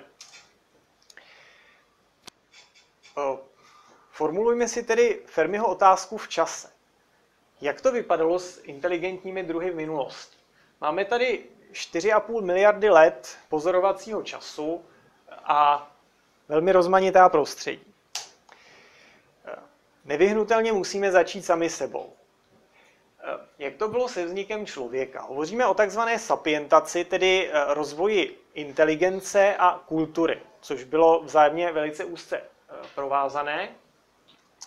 Eh, bohužel nevíme přesně, co byla ta příčina, která tenhle ten vývoj spustila. Uvažuje se, když hodně zjednoduším celé široké pole vědeckého bádání, o čtyřech hlavních směrech. Jedním z nich je, že lidé jsou specialisty na eh, vývoj nástrojů, tedy hmotné technologie. To je hodně stará představa a eh, když vidíme, že vlastně ten rozvoj mozku byl docela spojen s používáním nástrojů, je to možné. Eh, další hypotézou je, že rozvoj inteligence souvisel s nutností kooperovat vzájemné akce nějaké té tlupy při obstarávání potravy. V dnešní době si spíš myslíme, že eh, to, co vedlo k rozvoji intelektu, nebyla ani tak ta potřeba kooperovat, ale spíš ta potřeba, řekněme, intrikovat a manipulovat jinými lidmi. K tomu potřebujeme mít teorii mysli, tedy být schopni odhadnout, co si myslí ti druzí a jak bychom je nejlépe mohli přimět k tomu, aby udělali to, co chceme, ať už eh, aby nás jmenovali vůdcem smečky, nebo aby šli lovit přesně toho mamuta, kterého chceme zrovna my, nebo cokoliv jiného. A to je samozřejmě nikdy nekončící závod, protože k tomu, abychom tohle dokázali, musíme být chytřejší než ti druzí. A v další generaci, kde tedy převládnou naši potomci, už bude zase potřeba být ještě o pár bodíků IQ chytřejší, abychom se tím vůdcem tlupy stali. Takže to, to by byl takový hezký příklad eh, pádivého eh, jevu, který by pozitivní zpětnou vazbou eh, zvyšoval naši inteligenci. No a konečně, jako taková divoká karta je tady možnost pohlavního výběru. Můžeme posoudit každý sám za sebe, jestli je pro nás při výběru životního partnera důležité, jak moci inteligentní. Domnívám se, že pro velkou část lidí ano. A je možné, že pro nás je ve skutečnosti inteligence to samé jako pro samice pávů paví ocas. Že je to prostě nějaký relativně samoučelný znak, který ale slouží k rozpoznávání vhodných partnerů. A tedy i kdyby nám ta inteligence vlastně nebyla vůbec k ničemu dobrá a třeba pro nás byla dokonce škodlivá, tak by se v evoluci eh, zvyšovala. Ve skutečnosti asi nejpravděpodobnější je, že určitou roli tam sehrály všechny čtyři tyhle faktory, protože těžko říct, jestli v praxi by šlo je oddělit a možná právě ta kombinace byla tím zásadní. Každopádně, ať už z nás inteligentní druh udělalo cokoliv, fungovalo to velice rychle. Eh, tahle schémata jsou eh, nevyhnutelně zjednodušená, ale zdá se, když si vyneseme zvětšování mozku na časové ose, že se jednalo o jev exponenciální povahy, tedy neustále se zrychlující, a hlavně velmi rychlý. Tady někde na začátku máme australopitéka, který byl inteligencí na úrovni šimpanze, tedy prostě chytré zvíře. A na konci máme člověka, stavitele radioteleskopu. A e, mezi tím jsou nějaké jednotky milionů let. A to je z geologického hlediska okamžik. Na základě toho bychom mohli usuzovat, že inteligence je něčím výhodným, Protože proč jinak by se to v evoluci takhle systematicky zvyšovalo? A výhodné znaky podléhají takzvané konvergenci. To znamená, že se objevují u různých nepříbuzných organismů, protože je prostě výhodné je mít. Takže vidíme, že třeba vakovlk a vlk jsou si docela podobní, protože prostě je to optimální tvar těla pro nějakého středně velkého masožravce, i když si vzájemně nejsou vůbec příbuzní. No a ještě markantnější je to třeba u bytostí žijících ve vodě ať už to jsou pariby, eh, plazy anebo savci, vždycky tíhnou ke stejnému tvaru těla, protože prostě zákony hydrodynamiky fungují pro všechny stejně.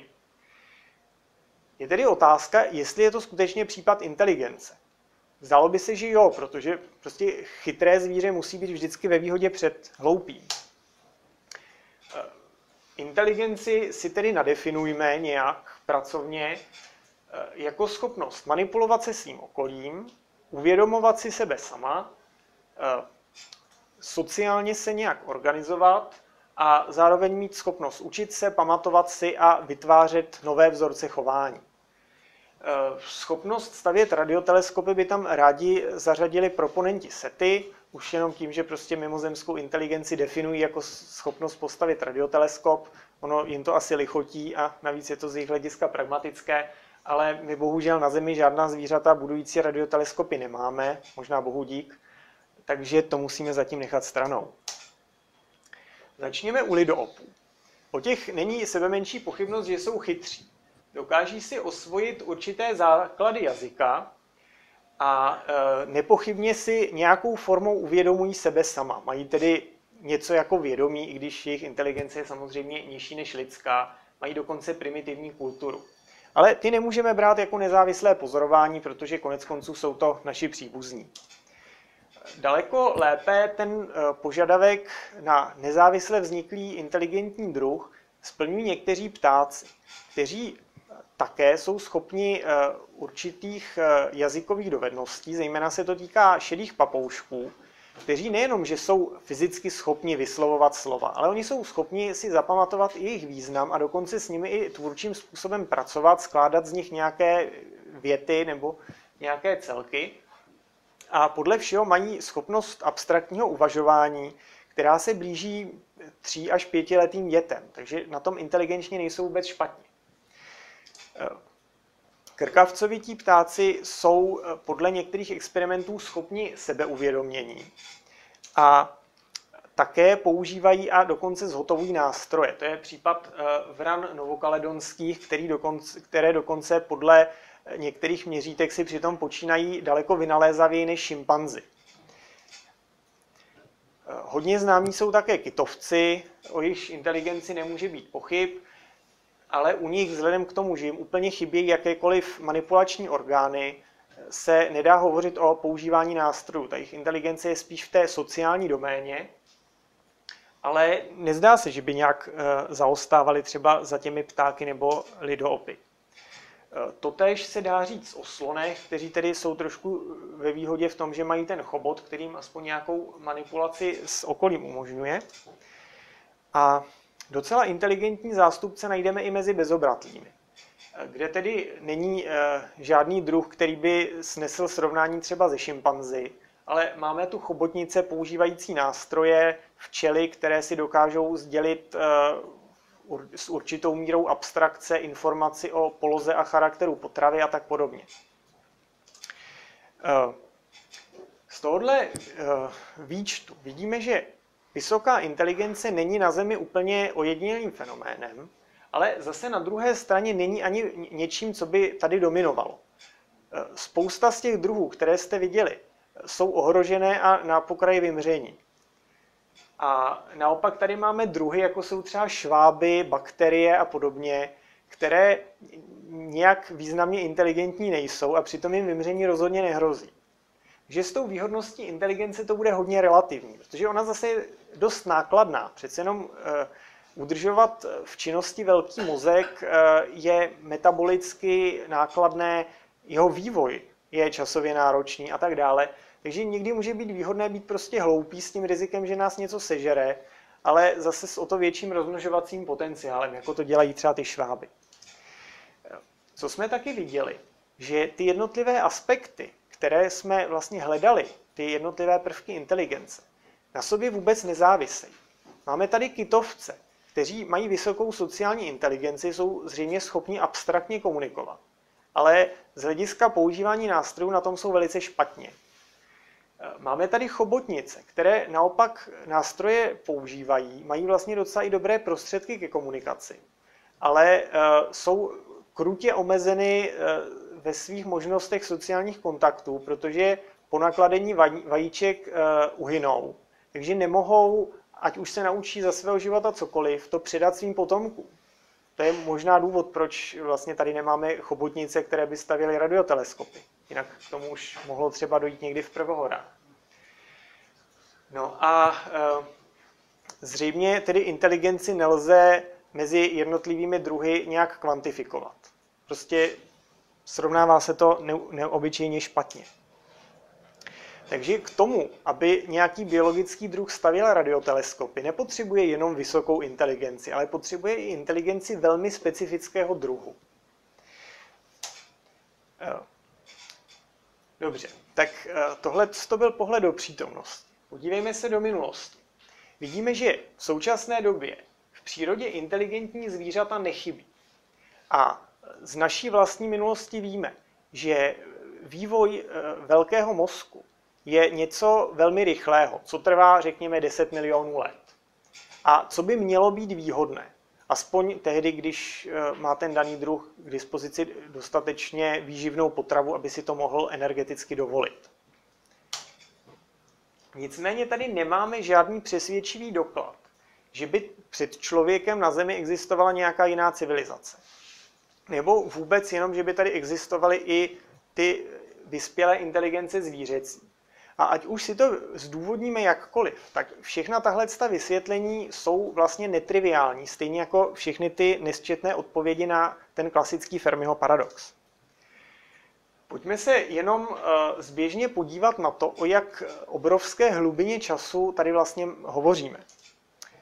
Naše zdokumentovaná historie je jenom nepatrnou částí celé historie našeho biologického poddruhu který tady zase existuje jenom nepatrnou část té doby, co tady existuje rod člověk. Počínaje nějakými těmi africkými eh, lidmi zručnými, kteří poprvé byli schopni plánovitě zhotovovat nástroje, používat oheň a tak dále. Eh, zase, lidoopy tady ale existují desetkrát déle než naši přímí předkové. A doba jejich existence je jenom nepatrným zlomečkem celé doby fanerozoika, čímž rozumíme období zhruba 3 čtvrtě miliardy let, kdy tady existuje mnohobuněčný život, nebo aspoň eh, jeho fosilní doklady. A to nikoliv překvapivě je zase jenom malou částí celé doby existence Země. Eh, ty hardwareové předpoklady, když to tak řekneme, eh, nějaké ty fyzické adaptace, které jsou potřeba k eh, tomu, aby daný druh mohl fyzicky budovat ty radioteleskopy. Jsou tady poměrně dlouho. Už na začátku prvohor jsme tady měli živočichy, kteří měli nějaké manipulační orgány, chapadla nebo klepítka, kterými mohli manipulovat se svým okolím, kteří měli oči a jiné smyslové ústroje. Zase už během prvohor se takoví živočichové dostali na souš kde možná jsou lepší podmínky pro rozvoj případné inteligence nebo technické civilizace. Ke konci prvohor už tady zcela nepochybně máme živočichy, kteří byli schopni udržovat stálou tělesnou teplotu a zřejmě byli i nějakým způsobem sociální, i kdyby třeba jenom tím, že se starali o svá mláďata. To byl třeba případ savcovitých plazů, kteří už tehdy byli v podstatě na podobné vývojové úrovni jako savci. Potom v druhohorách je vytlačili dinosauři, kteří na tom byli vlastně ještě lépe. Oni měli volné přední končetiny. To je něco, co savci nemají. To, to byl jeden z důležitých vývojových kroků v evoluci člověka, že jsme začali chodit po zadních a tím se ruce uvolnily k nějakým jiným úkolům, jako je třeba zhotovování nástrojů. Dinosauři už tohle měli za sebou, vlastně už od, začátku. od začátku.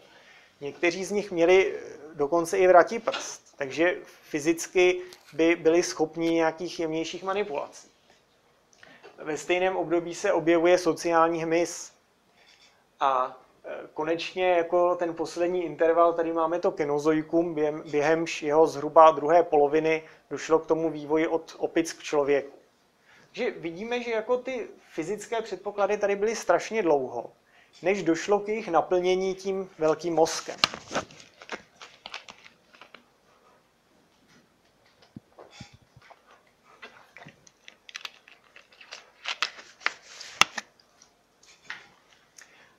Takovým tradičním vysvětlením je, že evoluce je ve skutečnosti pokrok.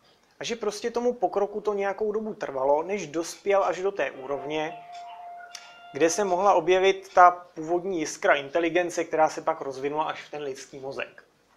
Ale pohled na evoluci jako na pokrok směřující k nějakému cíli je vlastně už dneska dost zastaralý, protože evoluce optimalizuje spíš jako krátkodobě a lokálně, než aby měla na zřeteli nějaký dlouhodobý eh, konečný výsledek. A asi tak jedinou možnou příčinou, proč by tady mohlo existovat systematické směřování k inteligenci, je efekt zdi. To znamená, že někdy na začátku prvohor byli všichni živočichové poměrně hloupí, někde na startu, na, na nule, a hloupější už být nemohli. Takže i když se pak inteligence víceméně nahodile podle momentálních potřeb vyvíjela tu směrem nahoru, to směrem dolů, tak nevyhnutelně se někteří zástupci prostě dostali eh, dál, než byli na začátku a průměrná nebo maximální inteligence pozorovatelná v přírodě se vlastně plynule zvyšovala.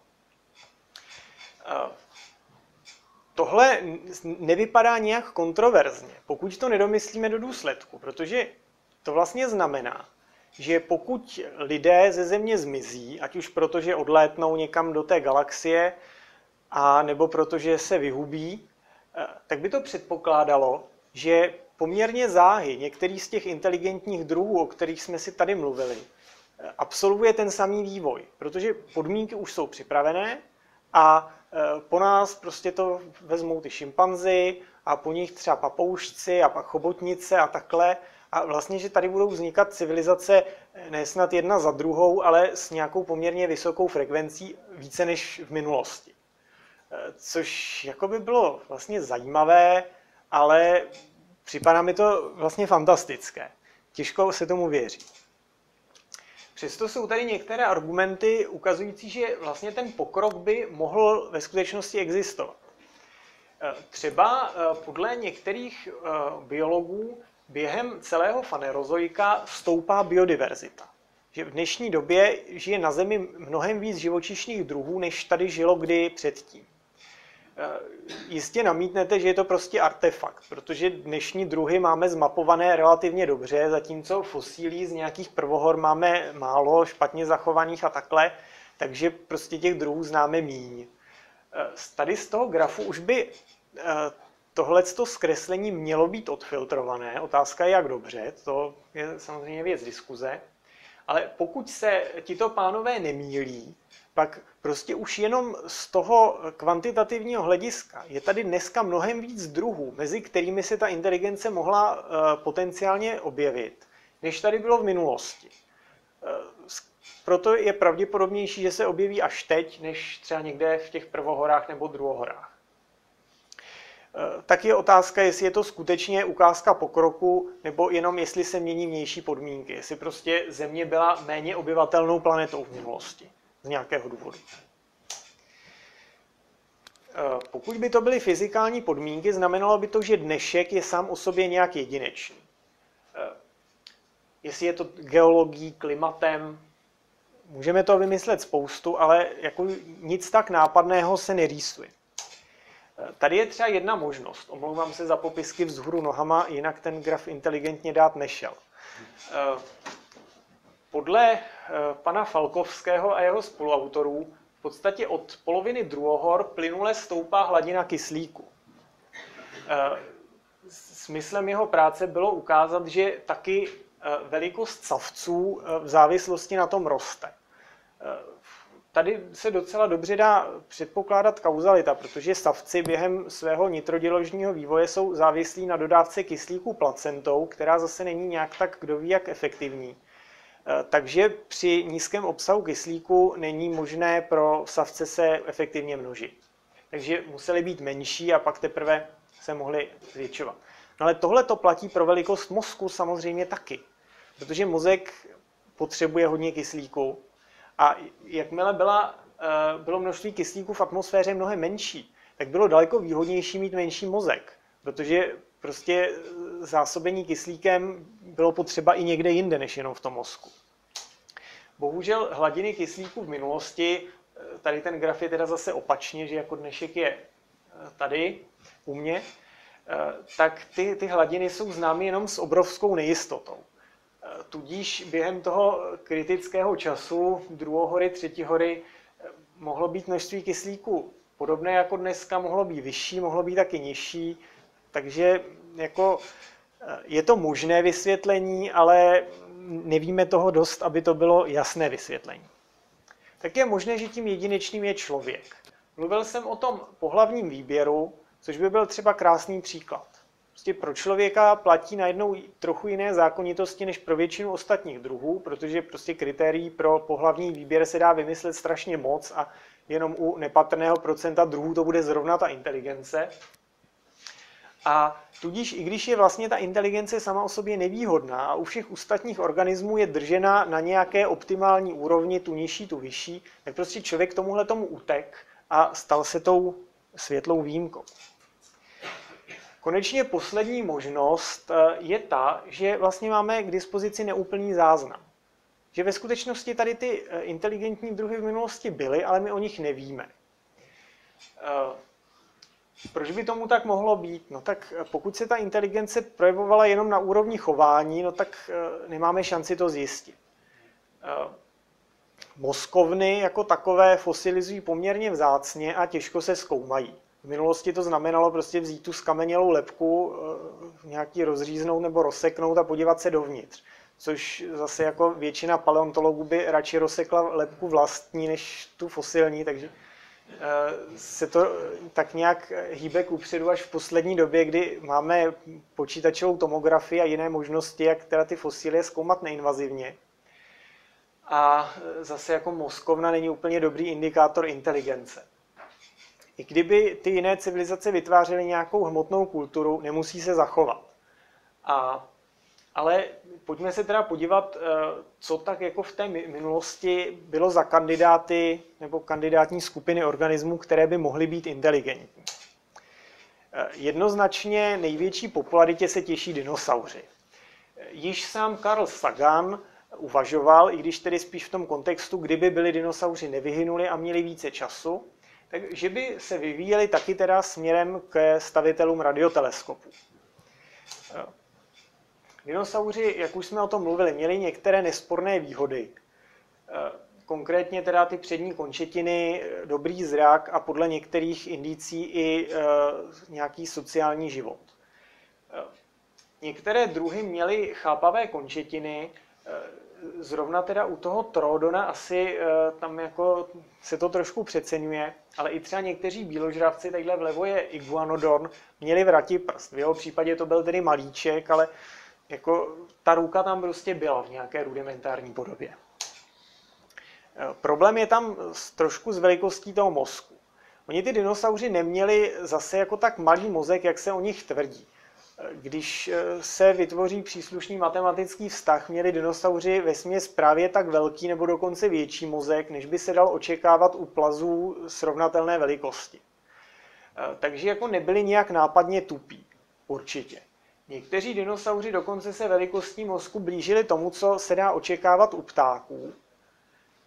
A to byl třeba případ toho Trodona, který, kterého třeba ten Carl Sagan si vybral jako příklad toho dinosaura který by byl schopen dál rozvíjet svoji inteligenci. Ale pokud se řídíme čistě fyzickou velikostí a obsahem mozkovny, není žádný důkaz toho, že by ten Trodon byl inteligentnější než třeba Pštros. To zase tak vysoká inteligence úplně není. Ono ale mozky je docela velký problém, protože eh, mozky různých živočišných skupin jsou různě organizované, mají jinou hustotu neuronů a, ta, a taky ta závislost velikosti mozku na velikosti těla je u různých skupin různá. A e, najít jako v, v tomhle tom nějaký jednoznačný vztah mezi velikostí mozkovny a inteligencí je dost komplikované. E, člověk zrovna, když e, vlastně tady vidíme ten vztah pro savce a pro primáty, tak člověk zrovna bude teda tady jako nejvíc v tom levém horním rohu to samé s nějakou určitou výtkou platí třeba i pro některé ty kytovce nebo pro ty inteligentnější ptáky, ale zase vždycky jenom v rámci té jejich konkrétní skupiny. Takže těžko říct, jako, co to znamená o té absolutní inteligenci. Prostě podle mozkovny nemůžeme nikdy srovnávat eh, vránu, šimpanze, velerybu a člověka, protože prostě to srovnání nedává smysl. Dinosauři měli na rozvoj inteligence spoustu času. Tady vlastně fialově máme eh, vyjádřeno trvání kenozoika, během kterého se savci vyvinuli od nějakých rejskovitých stvoření, která měla taky hodně malé mozky. Toto nebyly žádný géniové. A vyvinuli se až do naší podoby. Vidíte, že doba, po kterou Zemi obývali dinosauři, byla několikanásobně delší. Takže ať měli dinosauři mozky sebe menší, měli dostatek času k tomu, aby je mohli rozvíjet. E, ti e, kandidáti, o kterých se uvažuje jako o nejinteligentnějších skupinách dinosaurů, se vyskytovali v podstatě už někteří v době jurské a potom různě během křídy. Takže kdyby jejich rozvoj mozku byl stejně rychlý jako u člověka, měli už během druhého spoustu příležitostí to stihnout. My ale nemáme žádné důkazy o tom, že by existovali dinosauři inteligentní, byť jenom jako ty vrány třeba. Přesto se vyskytují různé spekulativní úvahy, jak by takový inteligentní dinosaurus, kdyby teoreticky vzniknul, asi vypadal. Tohle je jedna z prvních, e, je to model paleontologa Rasla. Pokud vám připadá jako člověk v latexovém kostýmu, tak přesně tak vypadá a podle mě je to jeden z nejméně uvěřitelných, protože eh, těžko si představit, co by dinosaury evolučně nutilo vypadat jako lidi. Jasně, jako velký mozek, chápavé ruce, ale to jako je jediné omezení, které nějak plyne z té potřeby vyvíjet inteligenci. Rozhodně tam nepatří ztráta ocasu a dokonale vzpřímená postava. Eh, tady jsou trošku uvěřitelnější dinosauři. Eh, jako vidíte, že v poslední době eh, tak jako mezi dinosaury přichází do módy peří s tím, jak se o nich dozvídáme stále víc. A tak i ti inteligentní dinosauři tak jako zvolna morfují k té ptačí podobě a nakonec vlastně dospívají k těm ptákům, o kterých víme, že vlastně vysoce inteligentní jsou, takže jako od těch hypotetických inteligentních dinosaurů dospíváme k těm zcela hmatatelným vránám, papouškům a tak. No, potom jako hodně staré a hodně zajímavé skupiny jsou hlavonožci a členovci, kteří mají ty manipulační orgány. Eh, v obou skupinách známe docela inteligentní zástupce. Eh, v minulosti, když byly proto vhodnější podmínky, byly i členovci hodně velký. Třeba prvohorní klepítkavci dorůstaly až dvou metrů nebo možná i víc. Takže to už jako je velikost eh, těla, kam by se nějaký ten podstatnější mozek vešel. Hlavonožci jsou velcí i dneska. Takže tyhle skupiny taky měly potenciál. A samozřejmě bychom mohli uvažovat o tom, že i nějaká jiná skupina obratlovců než zrovna savci a primáti by taky mohla rozvíjet svůj mozek. Bohužel o tom vlastně žádné doklady nemáme, takže eh, je to jenom svědectvím o tom, co mohlo být, ale nedošlo k tomu. Eh, co by zbylo po nás, kdyby s odstupem x milionů let eh, nějaká civilizace tady vznikla a ptala se, jestli v minulosti jsme tady byli nebo nebyli? Eh, kosterní pozůstatky to je ošemetná věc, protože inteligentní bytosti většinou z ostatky svých druhů něco dělají. Můžou je nějak pohřbívat, což v některých případech může zvyšovat šance na zachování a v některých třeba, když je pálí, tak je to zase snižuje. Takže eh, to, to může být ošemetné, navíc kostra by musela být docela kompletní, včetně mozkovny, abychom dokázali jako aspoň odhadnout, že to byla inteligentní bytost. Artefakty. Taková ta měkká kultura to prostě nefosilizuje. Jako největší šanci na zachování by měly třeba zlaté nebo kamenné nějaké výrobky, ale zase třeba ty kamenné nástroje se nemusí dát snadno rozpoznat. No, eh, různé stavby a takové věci většinou velice rychle podlehnou erozi, musely by být na vhodných místech a vystaveny vhodným podmínkám, aby se uchovaly miliony let. Eh, zajímavým, eh, zajímavou věcí, která pokud vím, tak ještě na to nikdo nepřišel a neuvažoval nad tím, jestli by to bylo nebo nebylo zachytitelné, by byly stopy pod těžby kdybychom předpokládali, že někde bude uhelná sloj nebo ložisko nějaké rudy, pak bychom se tam prokopali a zjistili, že už to tam někdo vytěžil. Jako, že ta ložiska uhlí, eh, rud tady prostě existovala stovky milionů let, takže kdyby už tam někdo před námi kutal, museli bychom se o tom dříve nebo později dozvědět. Samozřejmě velkou šanci by měly artefakty zanechané na měsíci a velmi nápadným projevem naší civilizace, ať už s odstupem kolika milionů nebo set milionů let, bude totální proměna biosféry. My jsme vlastně vyhubili spoustu velkých druhů zvířat.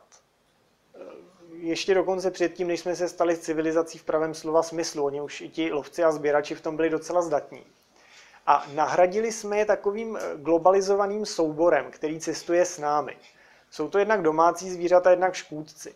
Takže jakýkoliv paleontolog by zjistil, že na všech kontinentech z větší nebo menší části vyhynula ta prapůvodní fauna a najednou se tam eh, rozšířily druhy, jako je třeba pes, kočka, prase, potkan, myš a eh, z těch nepochybně v budoucnu se budou vyvíjet zase další a další eh, nové druhy, takže to bude vypadat jako prostě nějaké velké vymírání, po kterém zůstalo jenom několik málo dominantních druhů. Takže pro případné badatele, kteří by se nebáli posměchu a chtěli by hledat v minulosti země jiné civilizace, jakkoliv si myslím, že takové hledání nemá moc velkou šanci uspět, by bylo možná záhodné se podívat na různé katastrofické události, které vyhubily velkou část biosféry. Třeba vymírání na konci Permu, kdy právě taky zůstalo jenom několik málo těch nejpřizpůsobivějších druhů, kteří pak eh, založili celou tu novou biosféru. Jako otázka, jestli prostě vymírání na konci křídy, že jo, dopadl tady ten asteroid, ale jako nevíme, jestli ho náhodou nějaká civilizace nepostrčila záměrně, že jo, taky už existují plány, že budeme pošťuchovat asteroidy a dopravovat je k Zemi za účelem těžby, tak jako třeba to někdo dělal před náma. A jako do moderního zájmu o globální oteplování krásně by zapadalo třeba uh, událost na rozhraní paleoge, paleocénu a eocénu, kdy došlo k prudkému a dost obtížně vysvětlitelnému nárůstu skleníkových plynů v atmosféře. Tohle si myslím, že jako ne, podle mě zatím nestojí žádné eh, inteligentní bytosti, ale podle mě právě takhle bude vypadat náš podpis eh, v budoucích geologických vrstvách. Eh, otázkou je tedy, kdo tu roli toho dominantního technologického druhu převezme po nás, jestli teda se splní vize z planety Opic. No a e, pojďme teda k tomu úplnému závěru. E, Fermiho paradox jsme nerozřešili, to jsem ani nesliboval, protože to je prostě otázka, která zřejmě bude očekávat až e, naše potomky. A vidíme, že stále prostě to n se rovná jedné, pořád máme jenom tu jednu technologickou civilizaci. A vidíme pořád docela dost důvodů, proč by ty další měly existovat. Ale přesto jsme si čím dál víc jistí tím, že je nevidíme. Když eh, samozřejmě existují eh, hlasy, že tedy mimozemšťané tady operují, ale tomu bych nepřikládal moc velkou váhu. A jediné, čím vlastně můžu přednášku uzavřít, že jak dole, tak nahoře. Vidíme ten nedostatek eh, technologických inteligencí jak ve vesmíru, tak na Zemi. A e, podle mého tedy je na místě hledat ty příčiny absence pozorovatelných mimozemšťanů. Kromě jiného právě v tom procesu, kde jako se vyvíjí život směrem k inteligenci, a tam možná bude právě ten důvod, že právě tohle je ten obtížný krok. Ale e, v současnosti máme právě jenom to jedno pozorování, takže nebudu tohle své vysvětlení nikomu vnucovat a ani sám mu rozhodně nehodlám věřit. Eh, tím, ještě, tím vám poděkuji za pozornost. Ještě bych si udělal malou reklamu, pokud eh, někoho přednáška zaujala. Eh, mohly by ho zajímat i moje webové stránky nebo knižní série Vzdálené světy, která teda se zabývá astrobiologií sluneční soustavy. Fermiho paradox tam teda není pojednáván. A tím už bych přednášku úplně ukončil a otevřel bych diskuzi. Ještě bych poprosil o malou pauzu potom.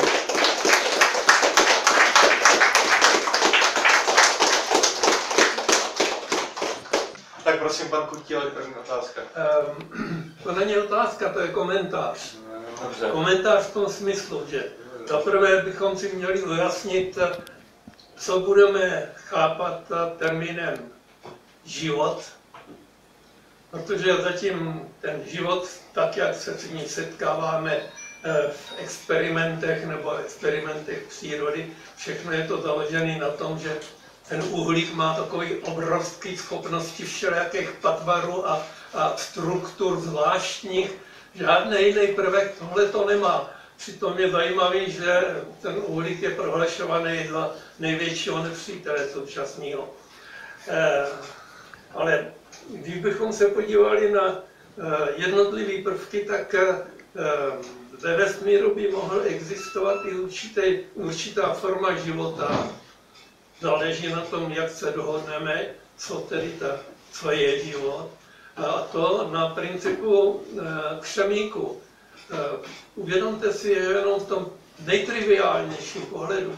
Ten křemík je buď to v křemenu, anebo je v boknavých minerálech, který se tvarují podle toho, jak je tam hodně vody, anebo to je v hrnkách, jak máme čínský porcelán přeloženo z angličtiny, to znamená, jak to máme v kaolinech nebo v kalonitickém nádobí.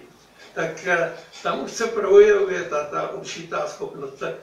Jestli by se nemělo tedy určitým způsobem, nebo jestli by se nemělo uvažovat i o tom, že ty projevy by mohly být i na možná, možná spekulativně, i na jiném základu, než jenom na tom, tu, na tom uhlíku.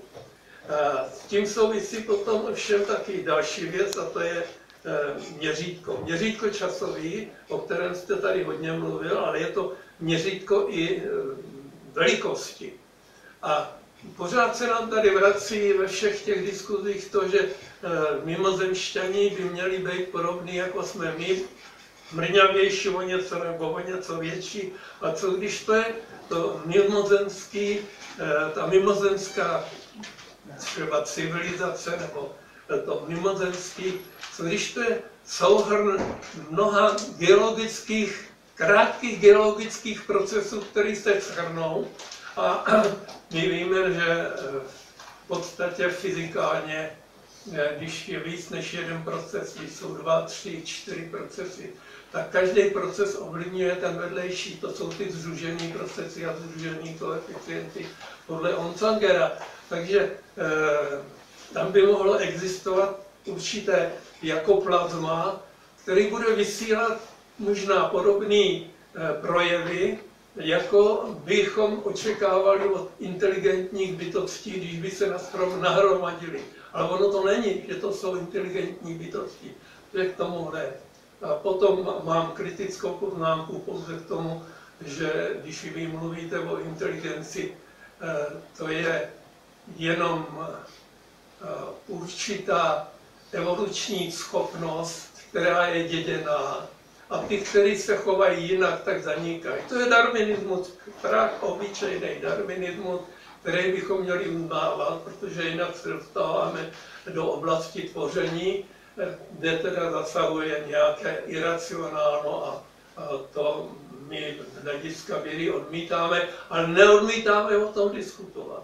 No to je zase ta odchylka od toho, já jsem dneska četl v materiálech na internetu, že jeden z hlavních protagonistů o globálním oteplování přikazuje, aby se nezveřejňovaly práce, které odporují tomu té teorii o globálním oteplování a jejich tvůrci, aby byli vyhozeny, aby nebyli placeny ze státních peněz. Kdekoliv po světě. Mohlo to bylo zaměřené spíš teda na tu Ameriku. Jo. Tak to jsem teďka jenom odbočil, ale ta inteligence, to je, to je já bych to rozlišoval, to, čím my myslíme, když si vezmete ty dinosaury, tak oni měli teda inteligentní centrum, nebo centrum inteligence, takzvané inteligence, chování. To měli v hlavě, ale z části až Megostasu taky. Tam měli druhý centrum toho chování, jak by se měli chovat, aby jim to vycházelo. Tak to je asi všechno, co já mám k vaší přednášce. Tak prosím reakce. Tak děkuji za hodně obsáhlý komentář. Eh, Kdybych eh, vlastně že tu, tu část, která eh, se věnovala těm exotickým formám života, samozřejmě o tomhle se uvažuje docela hodně. Jako vůbec jenom to spektrum těch forem života nebo potenciálních forem života, které si zatím byli lidé schopni jako představit a nějak reálně sformulovat, jak by mohly fungovat, je strašná spousta. Existovaly, dvo- existuje dokonce krásná knížka popisující eh, jako hypotetický život na povrchu neutronové hvězdy, který by zase byl jako otázkou těch prostorových i časových měřítek neporovnatelně menších než ten náš, že prostě celá ta civilizace by se vyvinula a završila svoji existenci během několika málo hodin nebo dnů, že, že prostě tam ty, tam že by to byly procesy závislé na eh, nukleonových interakcích, ne na chemických, takže všechno by šlo mnohem rychleji. Možná elektrických. Tak my vlastně, no, jasně, no. No. Vlastně mohlo by existovat eh, nějaká forma života prostě v interakcích právě plazmatů, magnetických polí třeba na, na povrchu slunce nebo v nějakých takovýchhle prostředích.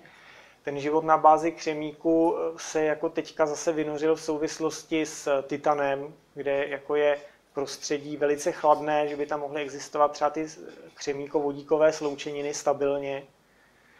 A jako tohle, co samozřejmě se do úvahy bere, pro hledání těch eh, inteligentních bytostí komunikujících prostřednictvím rádia je to v podstatě taková odbočka, protože eh, u toho stavitele rádia jako se vlastně v tom prvním přiblížení ani neptáme, jestli je z křemíku, z uhlíku nebo eh, z čeho vlastně je. Tam nám jde o to, že vysílá na té správné frekvenci, ale samozřejmě, kdyby, kdyby to byly nějaké bytosti, které by byly úplně jako někde jinde, tak by samozřejmě volili asi jiné prostředky komunikace.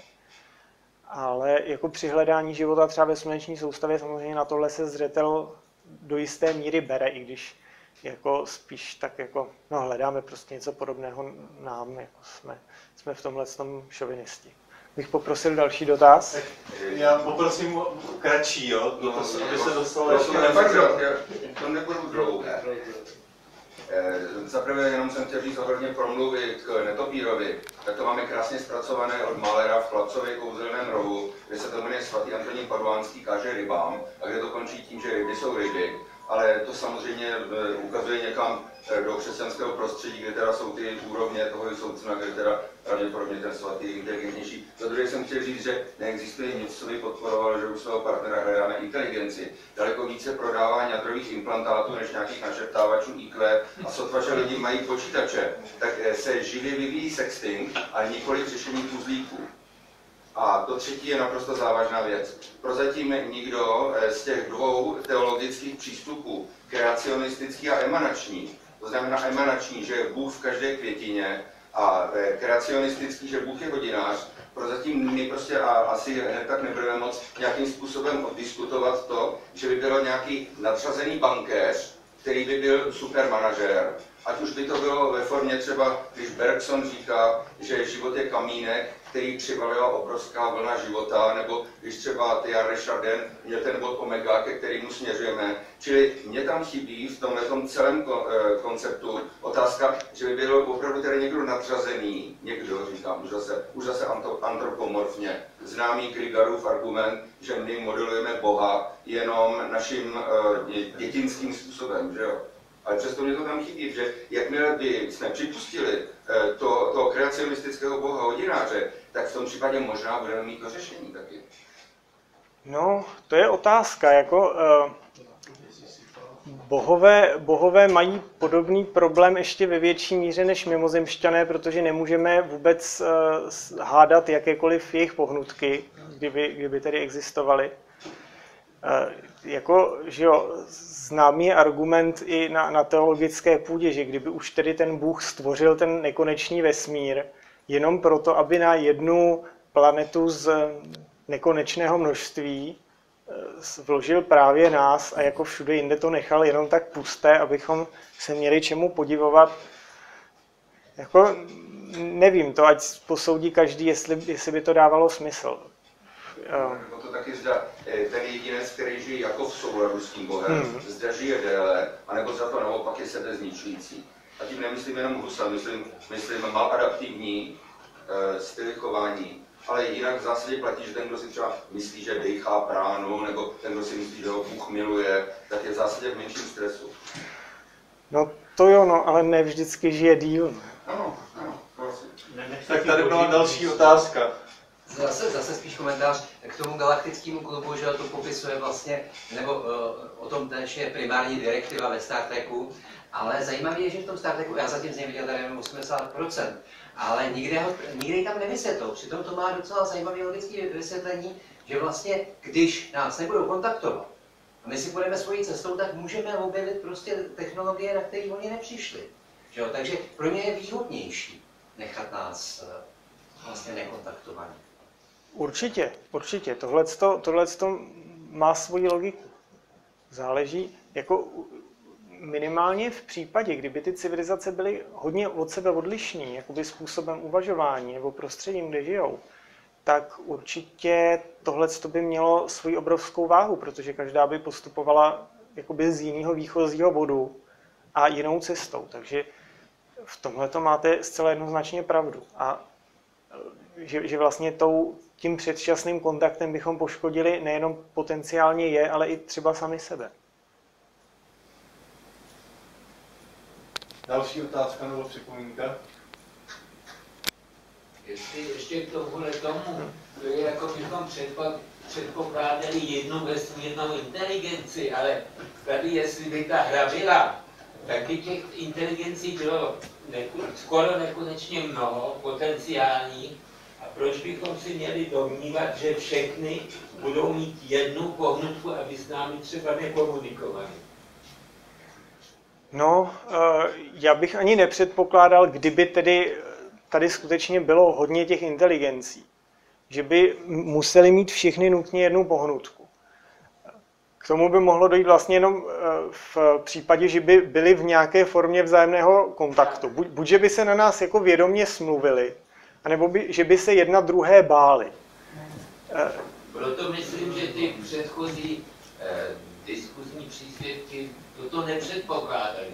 Předpokládali tu jednu společnou a to nemá vlastně žádný důvod, proč bychom ji měli předpokládat. Velmi nepravděpodobné. No, uh, takhle, uh, těžko, jako my zase máme jenom sami sebe. Je, je možné, že prostě ta schoda všech možných faktorů, která je nutná k tomu, aby vůbec někdo byl schopen vynalézt a postavit radioteleskop, povede zároveň k tomu, že všechny civilizace, které toho budou schopny, budou mít nějaké povahové rysy, které je zároveň povedou k tomu, aby s námi komunikovat nechtěli. Ale to je dohad, to je vlastně nepotvrzená hypotéza a možná až tak jako procestujeme celou galaxii a zeptáme se všech těch jednotlivých kosmických civilizací, proč si s námi hráli na skovávanou, tak jako budeme ji moci otestovat, ale zatím je to jenom spekulace.